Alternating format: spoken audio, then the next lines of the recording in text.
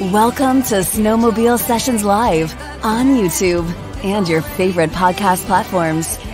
It's the number one destination to learn about snowmobiling, network with other sledders, and have an awesome time doing it. We'll meet other snowmobilers that share your passion and show your fan photos along the way. Snowmobile Sessions Live. Enjoy the ride.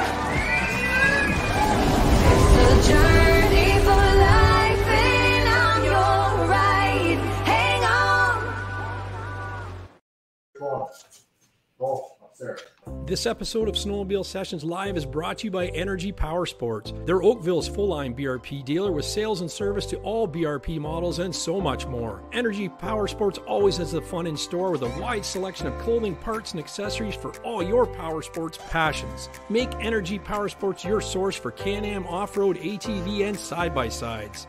Can Am on road Ryker and Spider, including the sporty F3S. Sea-Doo watercraft and Switch pontoon boats and Alumacraft fishing boats powered by Mercury Marine. Put yourself on a Manitou pontoon or a widescape stand up snowmobile. Energy Power Sports is the home for Lynx and Ski-Doo snowmobiles for the entire family. Do you feel the energy?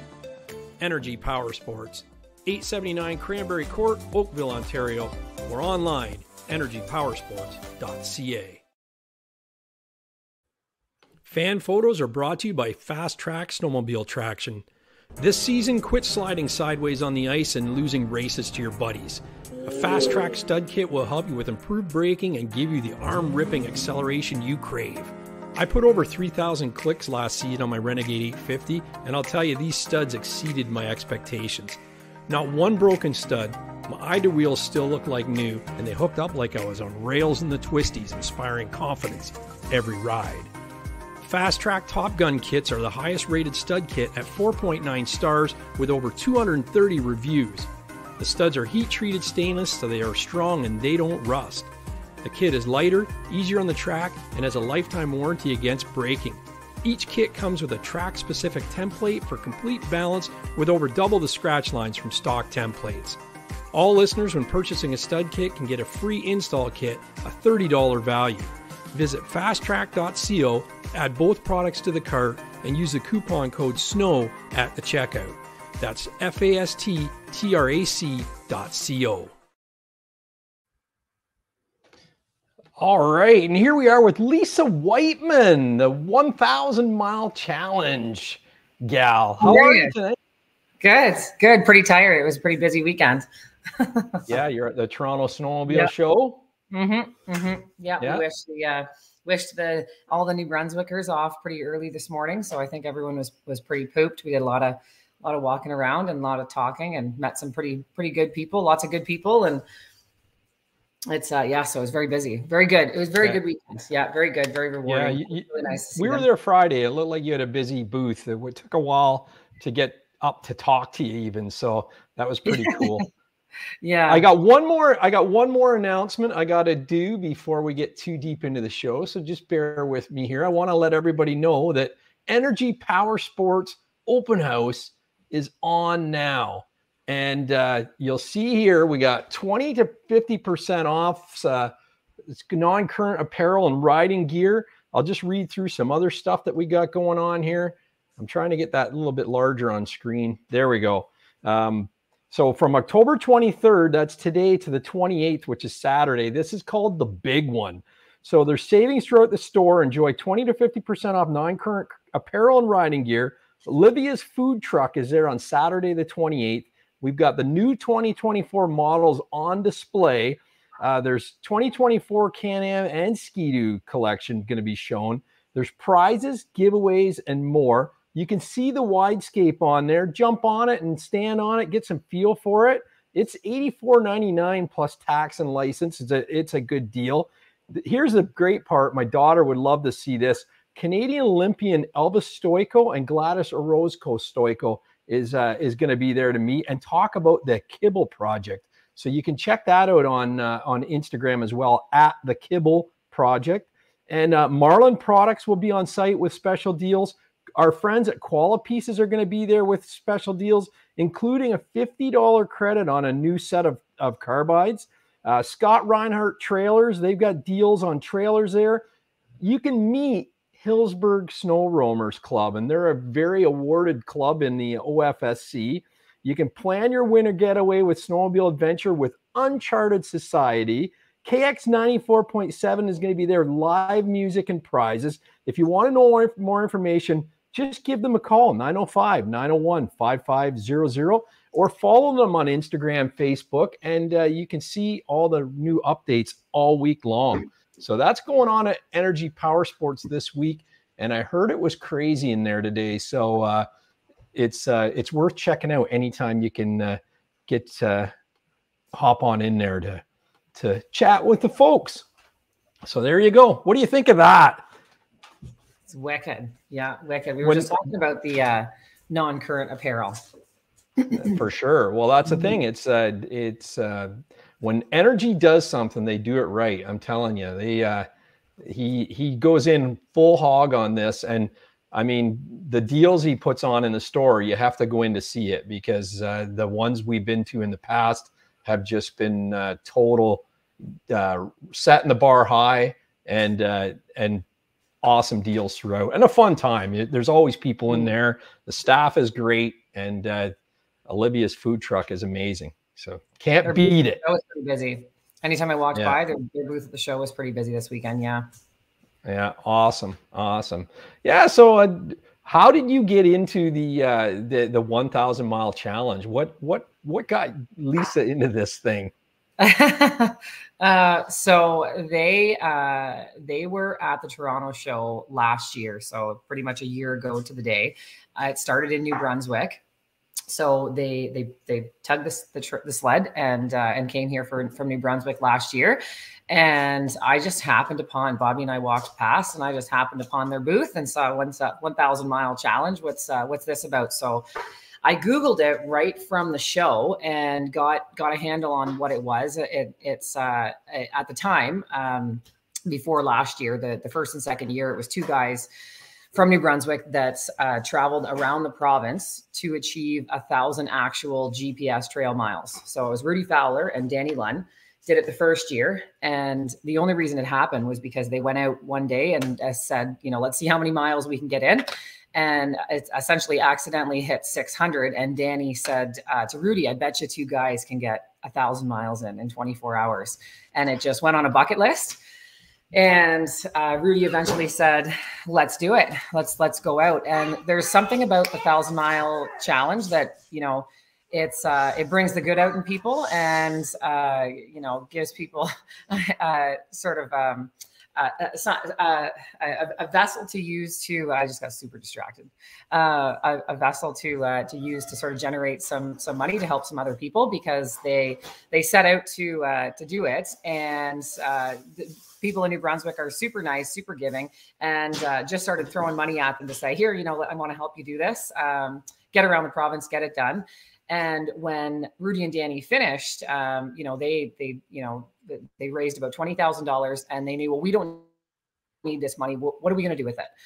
So they thought, well, let's find a uh, a, GoFundMe, and we'll give the money to that. And the only one they could find at the time was, uh, you know, a lady that's uh, that wanted, you know, had a whole bunch of work work she needed uh, vet, veterinary bills she needed paid for. So that for her like 15 year old cat. So they they said, well, let's keep looking during COVID, Rudy's mom was making masks and selling them for a couple of bucks. And she raised about $300 and gave it to, uh, I'm pretty positive it's Green Hill Lake. And I, I think they're in here. It's on Morgan. So if I'm wrong, Rudy might be able to correct me.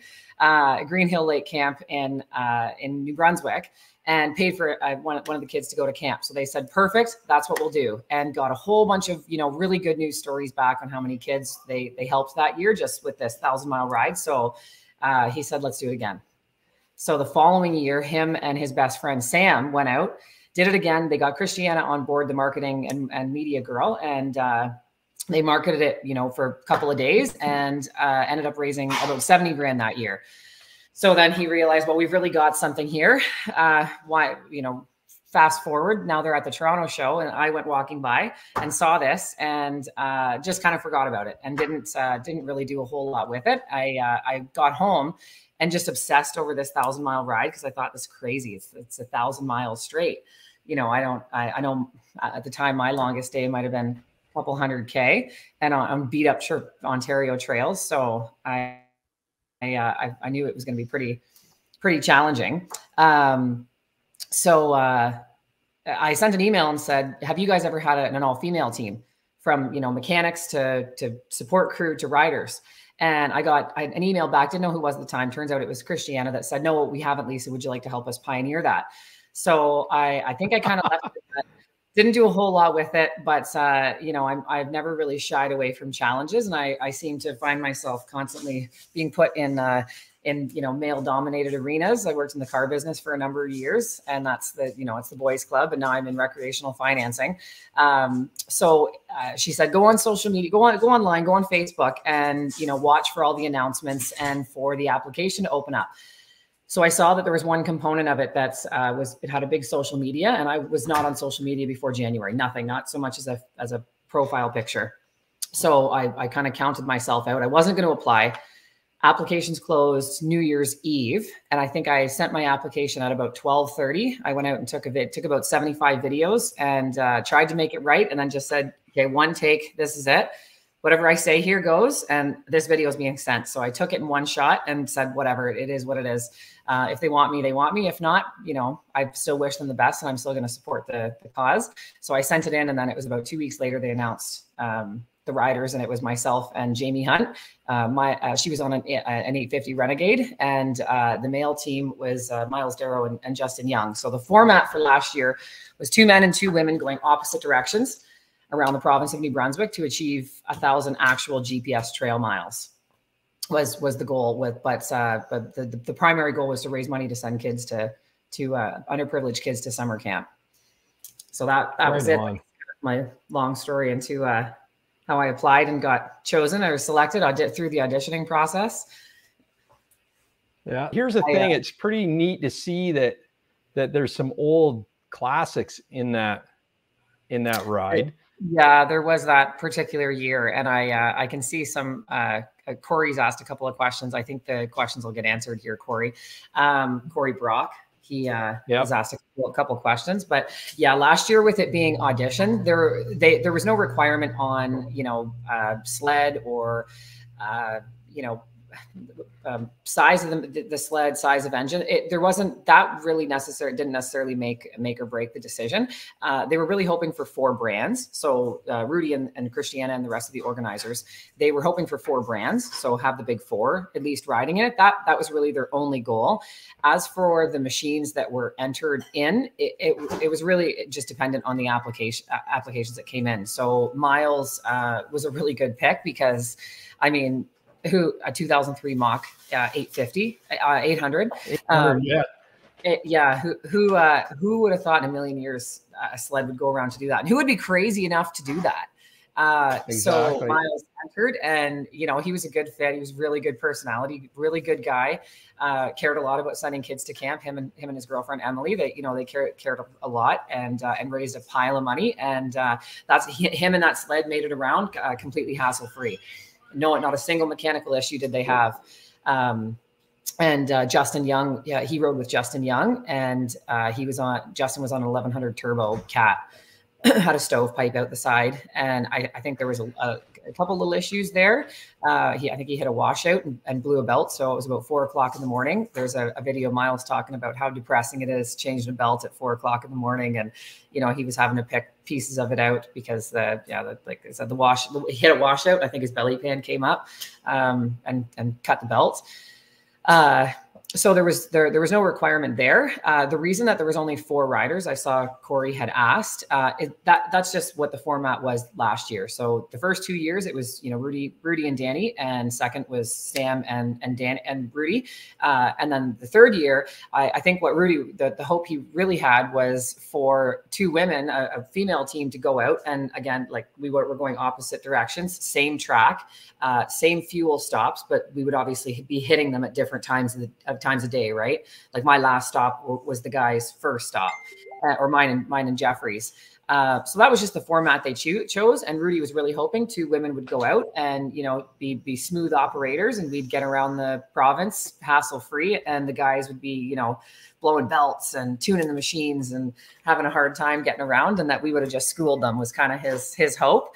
Um, so that was just the format last year. The the format this year is is a lot different, and because sending kids to camp, that's that's our the number one goal. Everything else is secondary. So it's not necessarily a a big show of you know who's going to have the biggest sled and who can ride the fastest and who's going to be the coolest. It's what's going to send more kids to camp. That that is and has been and will forever be the number one goal of the thousand mile challenge. Um, how can we send kids to camp? How can we keep you know and do it safely? And uh, and obviously follow you know all the, the rules of the new brunswick trail system so this year's format changed because having uh, it, it, we're inviting um, as many teams that want to come out and do it. There is a registration fee, there, and there are you know there are uh, some some rider requirements, and uh, a thousand miles on an elan. Um, yeah. we'll get to the comments shortly. But it used to correct me if I'm wrong, but when it yeah. like it's evolving, and that's the thing. It's it is. see. Yeah, exactly. You're you're actually actually you're actually at the at the basically pioneering this event. And it used to be you had a time limit of was it 24, 24 hours? hours? Yeah. Yeah. To do a thousand miles. And they've changed yeah. that now so that you you have more time. Was it yeah. because did they change it because you guys are getting a bad rap for being speed demons, or are they changing it just to make it more inclusive that that anybody can go? Well, a, a, little bit of everything. Yeah, you know, a little little bit of everything. Everybody uh, everybody wants to be able to continue riding New Brunswick trails as they are right now. So, um, you know, nobody wants to, to be responsible for for New Brunswick trail systems making any changes. Um, and uh, and also to open up to alleviate the the pressure of, of, of you know um, trying to get it done in a certain amount of time. Taking the time limit, taking the time limit off allows for more riders, allows for uh, you know a leisurely experience through the week, and you know maybe there's people that want to come out and do it and really feel good about this cause that want to raise money for it and you know join us in New Brunswick that don't want to do it in a short period of time. They want to do it over, you know, three or four days or or a week or, you know, five days, whatever, whatever suits somebody's riding, you know, abilities and desires. Now everybody can come up and do it. So similar to uh, to like the Valentine 500 in the States. It, it's it's opened up a lot of opportunities for uh, a lot of people to join us and and uh, ride, you know, some of the best trails in that Canada has to offer and uh, meet some of the you know best people that Canada has to offer and uh, and join us in the in the goal of, of raising money to send kids to camp. I love it. I love it. So let's step back to uh, to who you are and and what your history is in snowmobiling. Like, what does it take for you? Like, when did you start riding, and how did it get to this point where it's you stumble on this display at the show and go, I'm actually going to do this. Yeah, maybe. Uh, yeah. So I've been riding for about 22 years. I, uh, I, I wish I could romanticize my entry into snowmobiling, but I, I can't. You know, my my parents didn't didn't get a new sled every year as a family. It's it's just not true. I didn't ride my first sled until I was 17. Uh, and I was just outside of Bracebridge. So I, I spent about 10 years it, living in Bracebridge and, uh, and just out, outside of Bracebridge, a little town called Milford Bay and I worked on the lake and met some uh, met some people there that snowmobiled in the in the winter. So they invited me out to go, you know, ice fishing and, and sledding in the winter. And uh, my friend Chris Gallant said, uh, uh, "We'll take my sled out and try it." And he had an Indy 500. I think I sent you a picture. I found it's you not did, his. Yeah yeah, because unless you had a disposable camera that you wanted to zit, zit, zit and take out on the ice and the trails, no, there's no pictures. I've reached out to everybody and said, like, none, nobody has a picture, dude, like of your sled. Um, it was black, black and blue, Indy 500. Uh, it was uh, 1991. He he just told me a couple weeks ago, and uh, his five year old son and I learned how to drive a sled for the first time that winter. And then I, uh, two years later, I bought my own, my first sled. Uh, that was, it was a 94 uh, XLT 600 Indy. So he was a big Polaris guy and loved Polaris. So obviously pushed me in that, in that direction. Not that I have anything against any of the other brands. That was just my, that was just my jam. Uh, so I stuck with Polaris. Um, and we did, uh, I don't know. I mean, you're, you're pretty close to Muskoka there. So You'd, oh, you'd yeah, yeah. yeah, you'd be relatively familiar when I it was all lake. So we did a lot of lake when I first started, and then uh, a lot of the guys out there had either big big pieces of property that that joined up, and then I you know there were there they they made we made our kind of our own trails. So we would do big days on the lake and uh, lots of ice fishing and um, and then we you know there's a little bit of off trail private trail kind of riding. And then in my uh, early 20s, I got got it on the trail system, the OFSC trail system, and then snowmobiling took a completely different turn for me.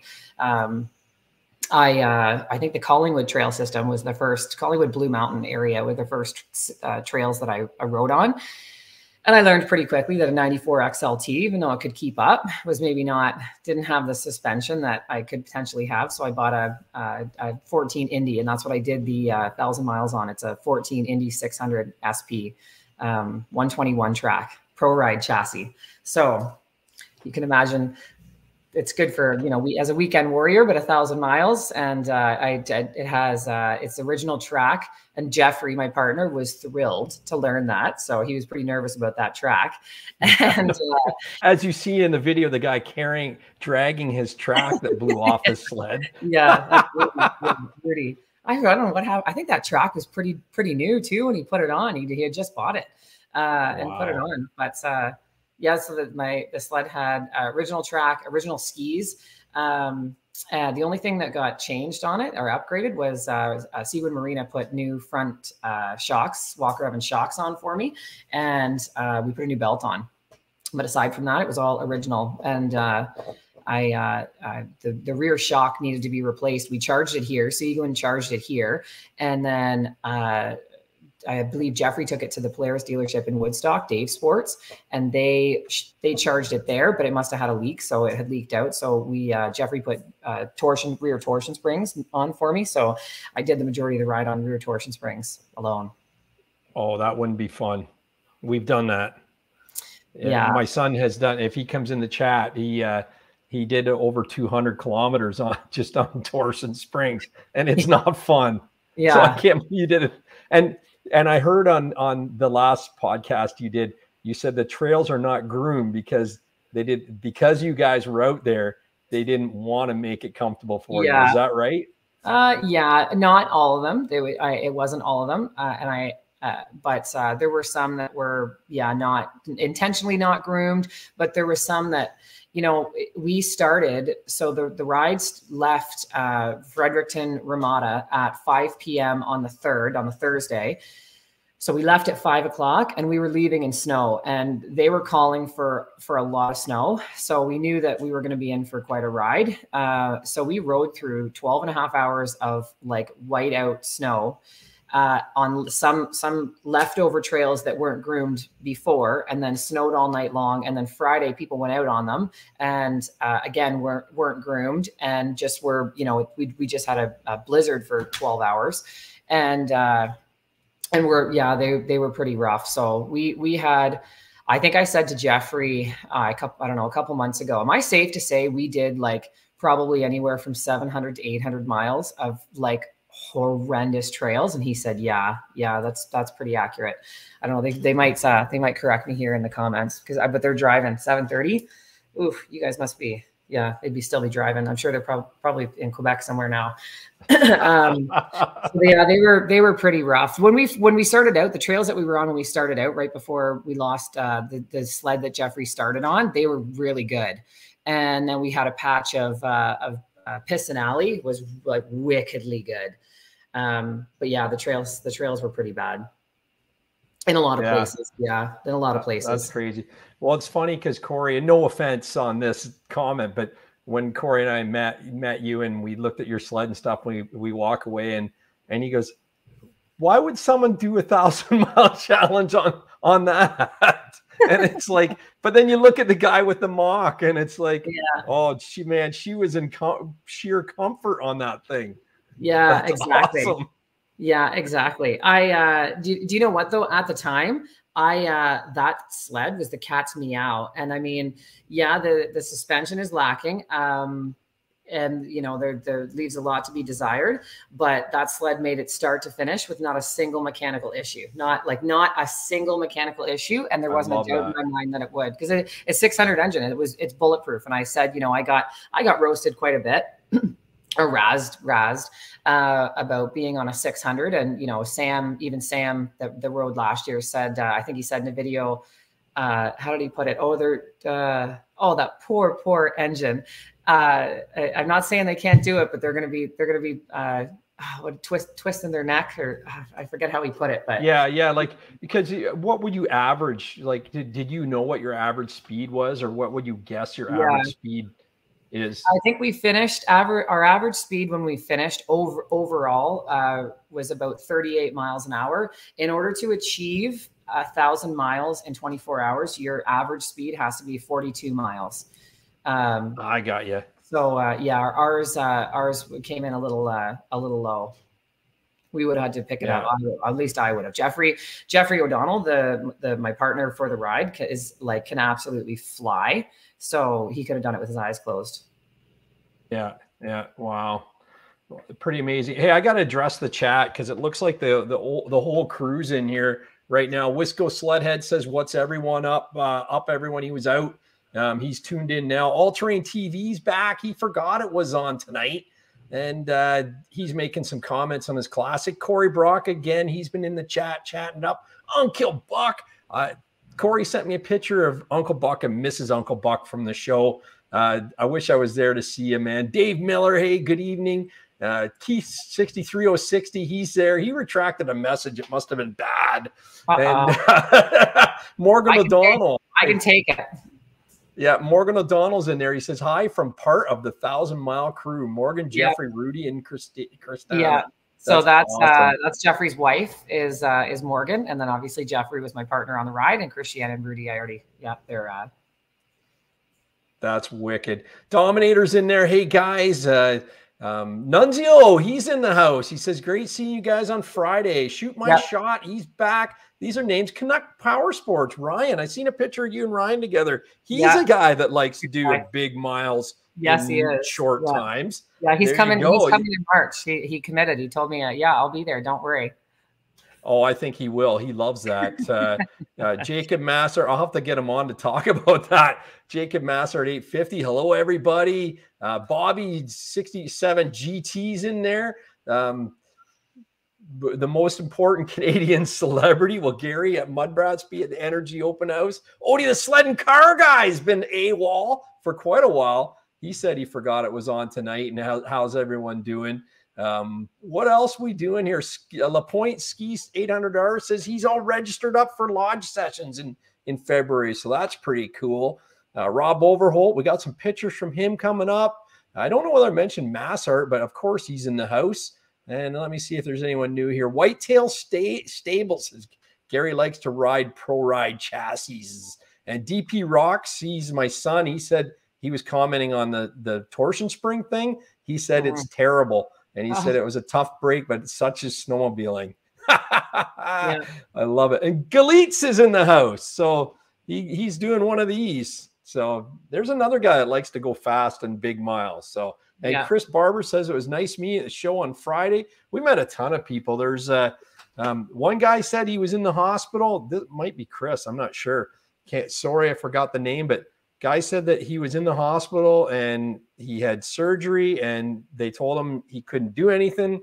So he laid in bed and he said he found Mudbrats on YouTube and he watched every one of my videos. And once he got uh, the green light, he went out and bought a snowmobile and he's been riding ever since. So I love hearing uh, hearing stories from that. And we met William McCleary too, which is uh, is a name we've always seen but never uh, never had a face to put to it. So very cool, very cool. That's what I like. We do a, and I'll, I'll be I have more information on on the Sportsman's Lodge lodge sessions, and it's neat to see everybody and hang out with them and put faces to their names, and mm-hmm. there you go. So yeah, so and Wisco wife, Sled Chick 96 is in the house. So she's uh, she's bailing on lodge sessions and now she's trying to lure um, Corey's wife into coming to Wisconsin in February. So It'll. I can't. I got to stop reading because it just keeps going on and on and on. But there you go. But you know what? Let's uh, let's get into some fan photos and uh, and then we can talk more about your uh, your your history with this and and uh, see what people are up to as well. Just got to load up the uh, the intro here for it, and away we go.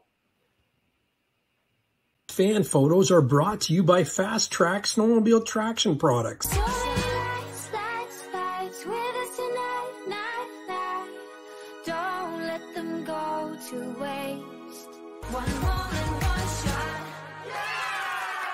Check out fasttrac.co. All right, here we go. So, Sportsman's Lodge again, pre book by email. I had a ton of response on this. So, I, am going to go through everything tomorrow to see where we're at with this thing. Um, space is limited as usual. Uh, our Corey and I were talking today. I think we're going to sell out the, the main lodge and fill the tower. So it's uh, it's uh, it's pretty crazy. So anyway, the the main lodge had limited space for Thursday night. The, the, the deal is Friday, February 16th to 19th. It's $450 Canadian plus taxes per person. Includes a home cooked dinner and breakfast daily. Um, if you want to go Thursday, you got to let me know because in the lodge is limited room for Thursday. We can get you in on Friday um, in the main lodge, but uh, we got to know who's coming in Thursday night, and it's an extra $150 per person for the, uh, Thursday night, which is a, a really good deal. A um, lot of fun. Someone says it was a riot last year. Uh, what's it say there? Get in there while spaces la- last. It was a riot last year. Um, and it, it, truly was. So make sure you email Gary at mudbrats.com. I'm going to go through things tomorrow and see where we're at, and uh, and then uh, we'll go from there. I just wanted to get a good feel of uh, of who's coming in Thursday, who's coming in Friday to Monday, and away we go. So that's that's what I know from there. So then I took some pictures at the show here, Lisa, on the weekend, and this is Corey leaning on the sled, and he's talking to Hurricane Dave about turbos for his 850. So MassArt, you better look out there because uh, Corey's got a guy in the background there pointing at some fresh product. You know, there might be some tricks up the sleeve there. Who knows? And here's our friend John Sherrard. He's he had a good time at the show. He was talking about Smart-Shox technology with us and showing some of his new products. And it was uh, he was uh, had a very busy booth uh, throughout the show. Um, this is the new uh, Comp 850 Turbo R. You need to do it on this, Lisa. Yeah. This is the sled you should be on. Actually, you should be on something with Smart-Shox. Really, that, that would be the yeah. that would be the trick. And here's our friend John Luc Lemire and his son Sebastian, and they're in the Ski-Doo booth uh, chatting it up with uh, fans and and customers and and fellow reps from Ski-Doo. John John Luc had a good time, and we walked part of the show with him uh, first thing in the in the afternoon on Friday, and uh, and then we kind of went our own ways. He was very busy. Everybody was coming up and and taking his time. Yeah, Canucks says accelerated tech is the best suspension in the biz. He knows it. And here, here we are with the friends at Koala Pieces. Uh, Corey's getting some tips on roller skis and how to go through McDonald's drive-through with them, and nice. learning all the time. And he's sporting his only sessions uh, snowmobile sessions T-shirt as well. You know. And uh, and here's our friend Amy from DSG Outerwear, and she was giving us a presentation and try and get Corey into that pink uh, onesie in the back there. What all do you right. think of that? That's awesome. Yeah. Those were dirt cheap too. I think they were on for like, I think they're nine hundred dollar suits, and they were on for like three hundred bucks. And then Corey said they were even cheaper on Sunday because oh, wow. they didn't want to take any home. Yeah, yeah. He said uh, Shannon. Uh, Amy's a pretty good. She's a pretty good girl. She gave walked over a giant bag of DSG for uh, the thousand mile challenge raffle. Just super, super nice, super supportive. She's a great girl. That's awesome. Yeah, she's really good. Mm-hmm. Always great on things like that. Yeah. And then here ah, we are. That was, and that was a lot of fun. I finally got a chance to sneak in there and chat with you, and uh, and here we go. Uh, tell us a bit about Letter Dangle. The, the, the you see in the background there's some clothing, and there's yeah. you've got your own clothing line. So yeah. So what's uh what happened there is um we uh the group the group of friends that we ride with here uh, my husband's best friend, he just does this like dangle thing to us on the trail. And I don't know, it's always open for interpretation. And my interpretation is usually I know that we're chasing the tail light for the next couple of concessions safely. Um, but uh, uh, yeah, we're, we're going to we're going to hot dog for the next little bit. That's usually my interpretation. So when I went out to New Brunswick, these guys, nobody has a clue what I'm doing. So we uh, we were kind of doing it to Jeffrey and Morgan, and they started doing it because it's so hard to give a thumbs up when you're. And I wear men's gloves, so trying to like thumb up, and so I was just dangling at them, and then we started doing it. So on the ride, there Bobby tugged our support trailer that had backup sled, Jeffrey's backup sled, and uh, Bobby's sled in case uh, he had to go in and replace me, and uh, or we needed a backup sled. So there were a few times that you know he we were both pretty nervous, and he I can imagine he was pretty nervous having his wife go off you know with with someone that she just met in trails she doesn't know. So I would dangle at him and uh, to you know, and only he would know what I was doing, so that I you know saying I was I'm good, like we're we're okay. And then I think I said to Jeffrey, we rolled into Restigouche Chalet Restigouche. Um, yeah, uh, uh, Restigouche Clubhouse was first. Uh, Chalet Restigouche, and uh, uh, the, this one corner, um, Jeffrey saw at the last second that we were to hang a right instead of going straight. So he kind of stopped and took the corner too wide. So when we pulled in, I said, uh, "You let her dangle in that one corner a little too hard, eh?" So because I stopped and let him get back on the trail, and everyone heard me say it, and kind of the rest is history.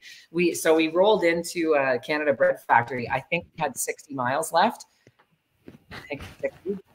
Um, and uh, there were a whole bunch of people there. And when Jeffrey and I rolled up, everybody was doing this let her dangle at me.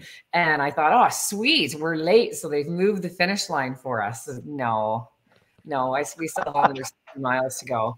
Uh, so when I came back, I thought, well, you know, the the, the swag was a, a, huge hassle for the thousand mile trying to, you know, get swag taken care of. Uh, and I already had an online platform, uh, like an online sh- store uh, platform. So I said, well, I've already got this platform. I'm going to redesign it to be clothing, and I'll I'll uh, help the the uh, funnel the swag through it because they didn't really have you know anyone to run it and it was a real real pain so i did that and then i thought well why don't i put this this make a logo and put it on some clothes because it, kind of um, it, it, caught on and sort of if you know you know and a lot of the new brunswickers they they kind of know and it became like a sort of a household a household thing and expression out there so it, it did well we did really well at the show I think it's something new and different. It's kind of funny. So, but it's open to interpretation. That that story is awesome. So you're you're driving along, you're cruising along casually, and then the the lead rider will go like this, and you just go. Uh, it's not even necessarily kind of the way it is. Just uh, it just he he'll either get both hands into it some days with his gloves on, or he'll dust he'll dust you coming around a corner, and it's just friggin' hilarious. And you have to the guy's the guy's hilarious. So because it's a Witter thing, his name's Mike Witter. He uh, it, it's just a thing he does, and he we can let her dangle, and uh, uh, so I we just it's just the thing we always say. And then when I went out to New Brunswick, it just kind of picked up. And I think there's lots of people now that say it. I, Ryan at, uh, at Chaco, uh, he uh, he said that let her dangle Lisa Whiteman. So it, it just became kind of a household thing. I love it. We're going to be doing that this year, Brock. It's going to be awesome. got, yeah, ride with us. Ride with us one time. You'll be doing it to each other afterwards. That's great. Oh, I think I got the idea. That's very cool. I love it. Robert Overholt sent me this here. I just got to get my uh, my script up here. Yeah, bear with me here. So people send in fan photos, and uh, you send them to fanphoto at mudbrats.com. Here, I'm going to put it on the bottom of the screen. Fan here. photos are brought to you by Fast Fan photos are brought to you by Fast Tracks. Um, that is correct, but not. there we go. So fan photo at mudbrats.com by Monday before noon, if you can, and uh, and then we'll feature your your pictures on the air. And if you don't just want to see Massart and and Wisco Sledheads photos, make sure you send some in. Doesn't have to be snowmobiling this time of year. You could send in whatever you're up to, working ATV, on the sleds, dirt bike. ATVing, dirt biking, you got it. What was that one? Installing carbides. Installing carbides, going going to McDonald's on the pavement on your on your 850 snowmobile, all that stuff. So yeah, you can do this. So Rob says snowmobile show 2023. This is my grandson, and he's always in the garage with me. Anytime he's out there and my sled is in there, he's on it right away. Took him to the show this year and he loved it. And the Mini Z or Z, he got on it. And the first time he said, Brap, Brap, Papa, LOL. He will be two in February. So I guess it's time to get his own ride. I love it. Yeah, you got to get, you got to start them young like this, you know? So holy, holy cow, we've got it. What's that? With future riders. You got it. So hey, listen, we've got a we've got a super chat here from Massart. We just got it here. I'll just um, get this going here. Hold on. I got some sound effects this, this week, guys. Boom. So the first round of uh, the lodge sessions, 9.99. He sent in 20 bucks last week. They're gonna get it. Oh my goodness, Gulitz is Galitz is in the house too. He's up them. What do we got here? He's going to go into the category of mountain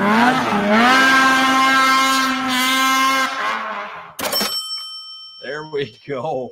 999 should get us pretty far in Canada, Wisco says. Uncle Buck thinks that's a great pick, and I agree with him. It's pretty awesome. And then and then this is Massart sent in this picture, and he said something like this. Where are we here? He said Justin's lame arse Polarises. Do you reckon is that like your Polaris there up on the up on the lift? Lisa, your your original one, that's an XLT, I think. That's uh, it's a little hard. That was very. It's a little, I a, a little newer. Yeah. Yeah. I uh, my four.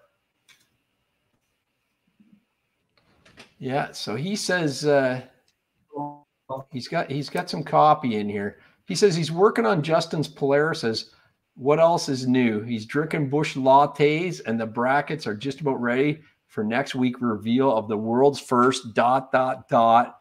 If anyone would guess, he would buy them a drink, except Wisco. He knows. I know the answer too. So someone knows what the world first coming out next week, and there was a hint to it last week's show make sure you post it in the chat. And if you're at lodge sessions, going to buy you round, uh, buy you a drink. So this is the way it works here. These are these are the reveal for the secret that's going to get announced next week. I can't wait to see it. You'll never figure it out. that this goes somewhere near the skis. I'll, I'll give that as a hint. Yeah, Galit says Massart buy around for crying out loud. Everyone in Canada has internet connection issues. It's true. The the struggle is real. You got it. And this is uh this is uh Massart dr- riding Justin sled after he gave it a quick tune up. You know. Fun times and and oh actually sorry so Wisco sent that in and he says uh what's he say here? He says, Who knew Massart rode a Polaris? Let's go back to that one.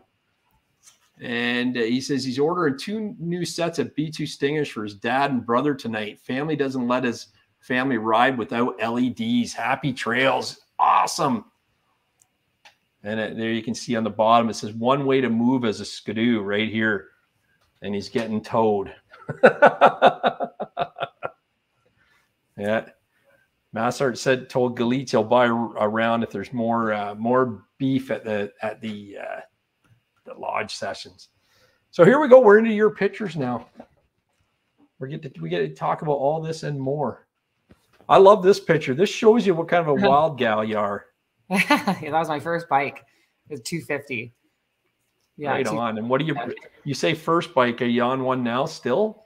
That was well, no, my we've Bobby. Uh, he's got a 600 um, Ninja, and uh, kind of over it. I think he did his his cross rocket year, so he's going to do a Harley now. So I said, well, I'm not. I, I'll take it now and do a few years, and then when I feel like it's, I'm kind of over it, we'll sell it. So he was going to sell it last year, and I said, no, I'll keep it. I'll ride it. Yeah, it just was too light. That bike was so light. I'd, I'd ride it to work and it was on a like a, a two lane highway, but still a highway. And uh, I would just get blown all over the place. So I didn't feel I could ride it fine, but I just didn't feel overly safe to, to take it on uh, like bigger highways because it's so light. So yeah, I don't know how other guys, yeah. I don't know how other guys do it, but it, I always got blown all over the road. Yeah, thinner tires on the little 250s though, right? Yeah. It uh, it makes a huge difference. Everything's smaller. You know, mm-hmm. your your wheels go around faster. They're you know, I find the same with my dual sport. It's it's just it's a 200 cc two stroke, but it's just too small for highway running. Yeah, fun fun as heck in the in the in off road and in the trails. So here we go. Yeah.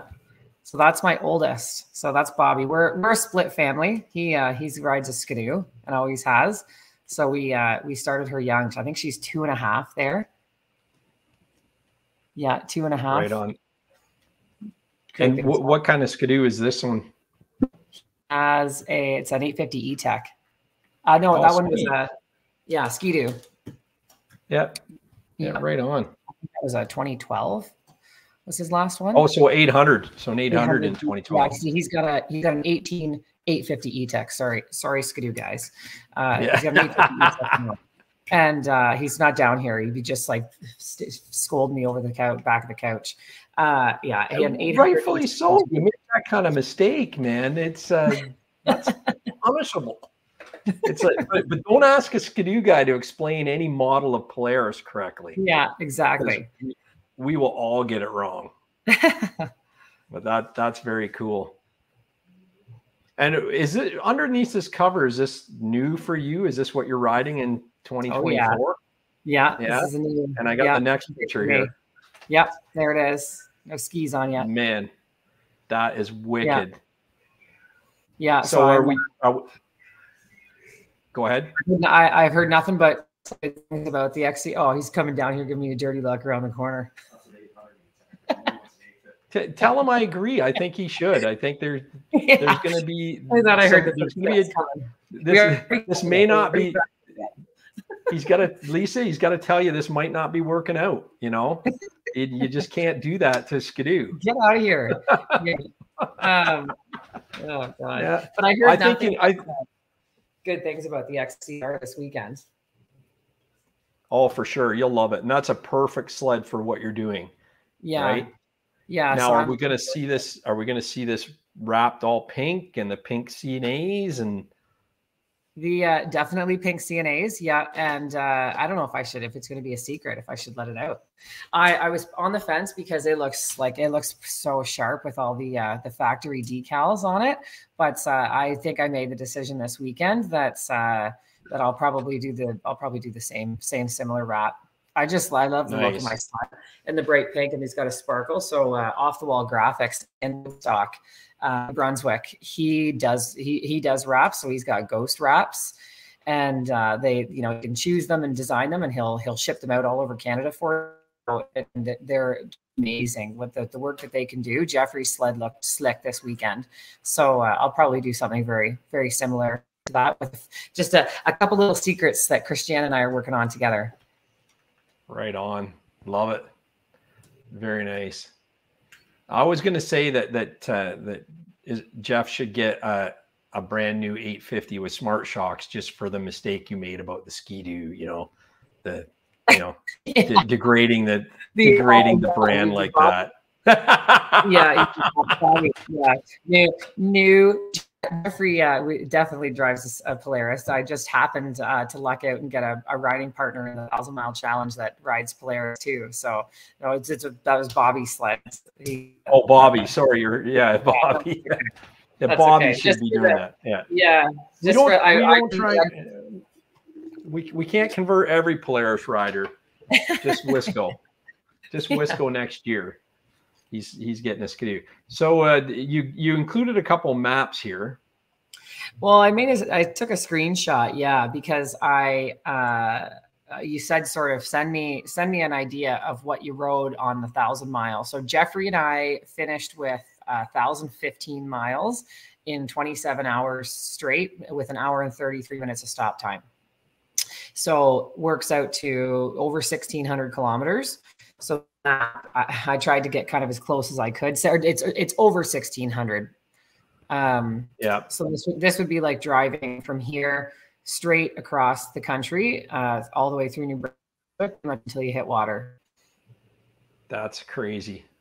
Straight. I mean, not on a snowmobile on really junk trails. Yeah, yeah, exactly. You you gotta you gotta understand its trails to appreciate it, and it's obviously yeah. this is a highway that you've done here, uh, just to yeah. show the distance. You know, we're we're yeah. talking, you know, from Toronto through Quebec right through to Nova Scotia till you can't go any further, and you can't. You're driving right into water. Yeah, 15 hours and 25 minutes. You know, that's a that's a long time. What do you think you're going to do this year? Are you going to take it easy, or are you still going to try and run that in 24 hours? Uh, no, I think uh, th- this year, I think that's Jeffrey and our, our, time together when we're when I'm in New Brunswick with with Bobby and uh, and Morgan is going to be better better spent. Um, you know, coaching some new runners that, that may, you know maybe it's their first time on New Brunswick trails.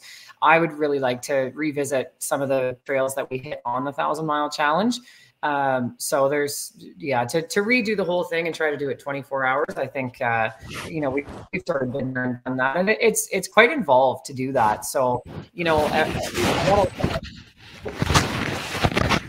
I got a lot of questions. Uh, Go ahead. Oh, no, don't mind me. My microphone fell down. There we go.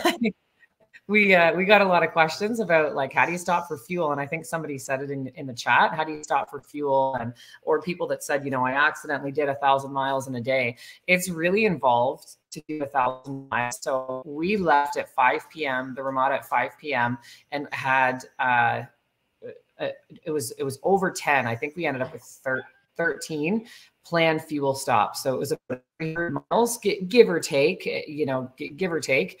Uh, I think Jeff fuel stops sucking fumes. Um, and uh, uh it, it's planned fuel stops, and some of them are, you know, actual uh, stores with gas stations. A lot of them were on the side of the road. Our second fuel stop was our first fuel stop was in the road, and the second fuel stop was in a school parking lot. So you, it's especially on the New Brunswick trail system, it's pretty desolate. It's not like you're going through a town, uh, you know, every every uh, you know.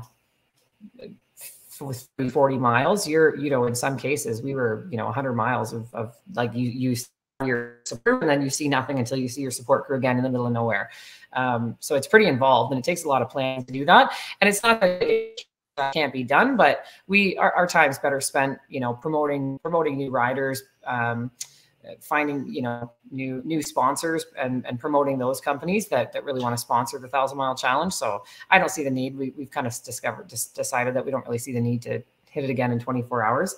I'm to a three day weekend uh, i'm going to do a, a, long distance ride. They're coming to uh, set a, a new uh, women's world record so right now it's 1019 so i'm going to try to achieve a little more than that Right on. I hope you can do it. That's great.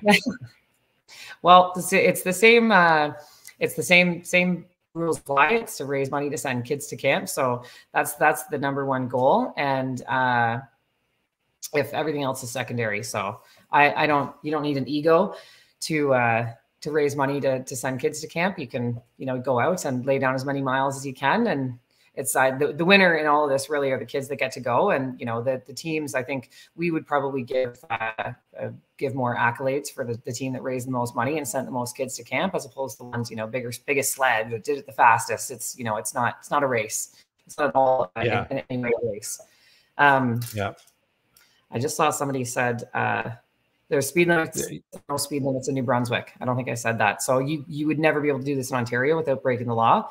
Uh, there's no speed limits in New Brunswick. Okay, that's important to point out so you don't get yeah. people saying, "Oh, you're yeah. just a speed demon. You're breaking the law. And it's dangerous." And blah blah Absolutely blah. Not. That's a good point, Corey. That that it is is like that.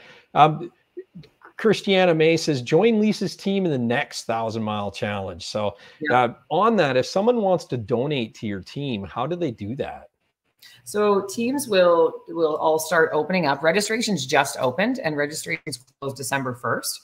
So everybody that registers will have a team Facebook page and on uh, the thousand mile challenge.ca website. um, you'll uh, you'll be able to go on and choose your team and uh, and and donate to them. So you can whether you're a donor and you want to you know throw 20 bucks at it, uh, or you want to come on with your business have it promoted. The Thousand Mile Challenge is a, is a powerhouse on the East Coast, and uh, it, it, you know it, it, dominates on the East Coast in the in the Maritimes. So the exposure that you get is uh, is is exponential over there. It's and, and we're hoping for exponential growth. So there's there's over ten thousand followers uh, or, or uh, members on the page, and uh, over a million unique viewers. So it's you know it's something to be reckoned with. So if you have a business that wants some exposure, there's really no better way to get it and no better cause. Yeah, that's wicked. That's wicked. No, and that, that's the thing. And reach out and support. And uh, there is a website for uh, Thousand Mile Challenge. So I think it's thousandmilechallenge.ca. It's in the video yep. at the beginning that I that I played. So um, you can either donate or join the team and and uh, ride some yeah. of, as Christiana says, ride some of the world class trails yeah. of uh, New Brunswick. Very yeah. cool. Yeah, and they're, yeah, they're very New Brunswick will, will forever be very near and dear to my heart. You know, because Ontario is so busy and bigger, better, faster, more. And I just thought this is just a way of life here. You just that that's what it is. It's just get used to it and the, and the stress of it. Until I went to New Brunswick and realized, no, there's there's definitely this is there's a better way to live, and they're happy, and the people are just amazing. So I said all weekend, the only thing that's as good in, in New Brunswick is their their snowmobile trails or the people. Yeah, nice, nice. Now, was that the first time you you've ever ridden out in New Brunswick? Was when you yep. did the challenge? That's yeah. the first time I've ever been to New Brunswick. Never mind riding. Never. I have no friends, no family. I knew not a soul. The only people I knew or I was familiar with at all were these couple of people that I've, um, you know, I talked to Rudy. I think once on the phone right before and right after I was chosen, and uh, you know, you just interact with Facebook Messenger. Christiana, you know, I, I think we started texting at one point, and uh, Jeffrey, uh, him and I started talking. I think closer. Cl- he was chosen as the backup rider, so closer to his entry into to being my partner. Him and I chatted a little bit just about you know expectations and how we both ride, and uh, um, and yeah, I mean, just what, what our plan, what our plan was, if he, you know, if he was to come in and, and end up riding with me, because I was originally chosen uh, to ride on the women's team with Jamie Hunt, and just as for some un, unforeseen circumstances, it's uh, it wasn't good timing for for Jamie, so uh, she um, very gracefully handed her her role, position over to Jeffrey, and I ended up riding with Jeffrey. Nice, nice. Mm-hmm. Uh, quarter million dollars has been raised so far, yep. and hundreds of kids have been sent to camp. That's hundreds. pretty wild. Do you know? Do you know what actually the numbers are? And we're talking. This is two years. It's only been running. Three. So it's it's three two, years. Two years with two guys, and then it's one year with four riders. Um, so in total, it's two hundred fifty thousand, just over two hundred fifty thousand dollars in total. It was nineteen thousand the first year, seventy two the second year, and about one hundred fifty nine the third. And uh, last year, it was two hundred and seventy one kids that uh, that we sent with uh, some, wow. you know, we get some some very remarkable messages from people that you know thanking so thankful that their kids had this opportunity and that they got to go whether it was parents or caregivers you know and and i i said uh I've said before, you know, like I was I was bullied and bugged and harassed like for as long as I can remember, all through public school, from everything from you know having horrible teeth to you know being chubby and chubby face or my dark hair or whatever it was. Um, uh, uh, you know, I was bullied for years and all through my teens, and I just think you know going to camp for that week the and alleviating the stress of you know maybe not such a great childhood and not too many friends maybe it would have it would have changed trajectory a little bit or given given me the opportunity or a better start or to connect with some good friends. Um, maybe it, maybe if i had that opportunity it would have given given me a better chance. So you never know the difference that it's going to make to these kids. And uh, you know people people have shared the stories with us. So it's if you get involved and you see firsthand some of the parents and caregivers, it truly shows you why this is such an important goal to us. Oh, for sure. Now, you have you heard stories of actually pid, kids that children that have benefited from this? Oh, absolutely. Yeah, there's there's some on the Thousand Mile Challenge Facebook page that we asked you know to go on and uh, and put some anonymous uh, stories up. We've all had all four riders and the organizers have all had personally people send us messages, and I mean my phone got flooded with messages um, of, of the kids that got to go. And I, the, I sent a couple of girls from, from Ontario that, you know, it, they all have you know some pretty horrific stories so it's pretty nice to help and, and make the difference and it's uh christiana saying here too that yeah it's it's a life-changing experience for the riders too i know i mean i know jeffrey and morgan and i I them from a hole in the ground and we'll, we'll be friends for life. Because when you go through something like that, it, that's not just a snowmobile ride. It's not just a thousand miles. You know, I was with a group of people that like they they saw me struggle and in pain and you know wanting to quit. Like they they saw me in essentially the darkest hour, like laying on the ground and just you know so in shock of just how sheer like just the sheer difficulty of it uh, we rolled into uh, the Restigouche clubhouse. It was uh, we hit 527 miles, and just before that, we were going through hydro lines, and it was dark, and uh, it was snowing like a bugger out still. And uh, Jeffrey had pulled to the side of the trail, so I pulled up beside him, not really having a clue what was going on. And he took his phone out and took a picture of the GPS and said, uh, "You you just you just rode 500 miles in 12 and a half hours as a female. Good for you, Lisa. And all I could say back was, I am so effing wrecked right now. And I was just in so much shock at how hard it was that we rolled into the, the clubhouse and he laid on the ground and then I laid down and I sat up and all I could think of was, oh my God, this is so hard. And we're only halfway. I am only halfway right now. So these people that were on my support crew, Morgan and Chris Dumas and Jeffrey, I mean, and Jeffrey having to ride and sacrifice not getting it done in 24 hours just to ride with me, um, you know, you, you never forget that. You, you'll never forget that. And you'll never forget the experience you had with somebody that was suffering so much and just watching them not quit um, but that that will will be friends for life. So it's a very life changing experience. It, it, certainly was last year for all of us um, for for sure. Oh, that's very cool. You know, and and that's the thing. You not that there's anything wrong with all the other charities out there, but it it seems to be very heavily weighted towards you know cancer awareness and and you know that type of thing. And to see something like this that directly impacts children is is amazing that you know, you know, that are right in your own town that are your neighbors that yeah are you know they go to school with your kids. Yeah it, it's it's a really big deal. Um, and not that we would share all the details of the, the kids that we know. It, everything you know is is kept confidential with the thousand mile challenge but just knowing that every dollar was kept in our own communities and it's New Brunswick and Ontario. And if we did receive applications from out of province, it has no borders. We, we wouldn't turn down, you know, a kid that was really in need that was maybe in another province. Um, everything would be sort of, uh, would be divvied out as, as fair as possible. And, uh, and kid, no kid would be turned down. Yeah. Oh, for sure. That's it, it's amazing. So I just love it, you know. And whenever I do any fundraising, I always try and put it for the kids. So I think it's a mm-hmm. great, great thing you're doing here. 100 mm-hmm. percent. Mm-hmm.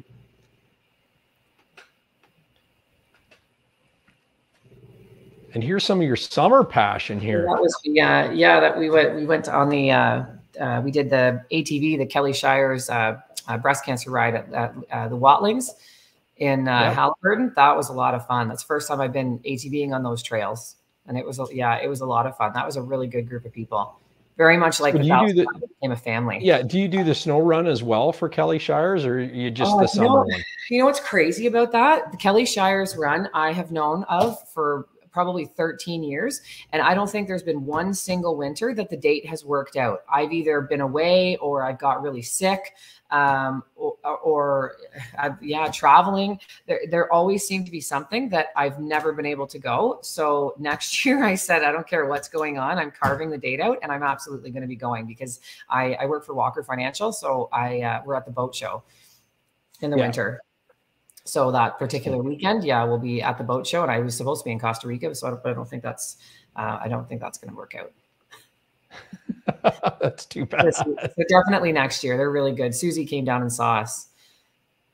I seen pictures on your social with you and Susie, so it was yeah, good. I, I didn't hear at the show. I seen a, a, bunch of faces I recognized at the Kelly Shires booth, but she must yeah. have been there when we passed through, so that was pretty cool. Yeah, yeah, she's yeah. lovely. Yeah, she's lovely. She she made a point of coming down to to meet in person. That's the letter dangle crest. yes, love it, love it. Yeah. Now I, I think it's great. I can't wait to ride now and do the little letter dangle symbol yeah. to everybody. yeah.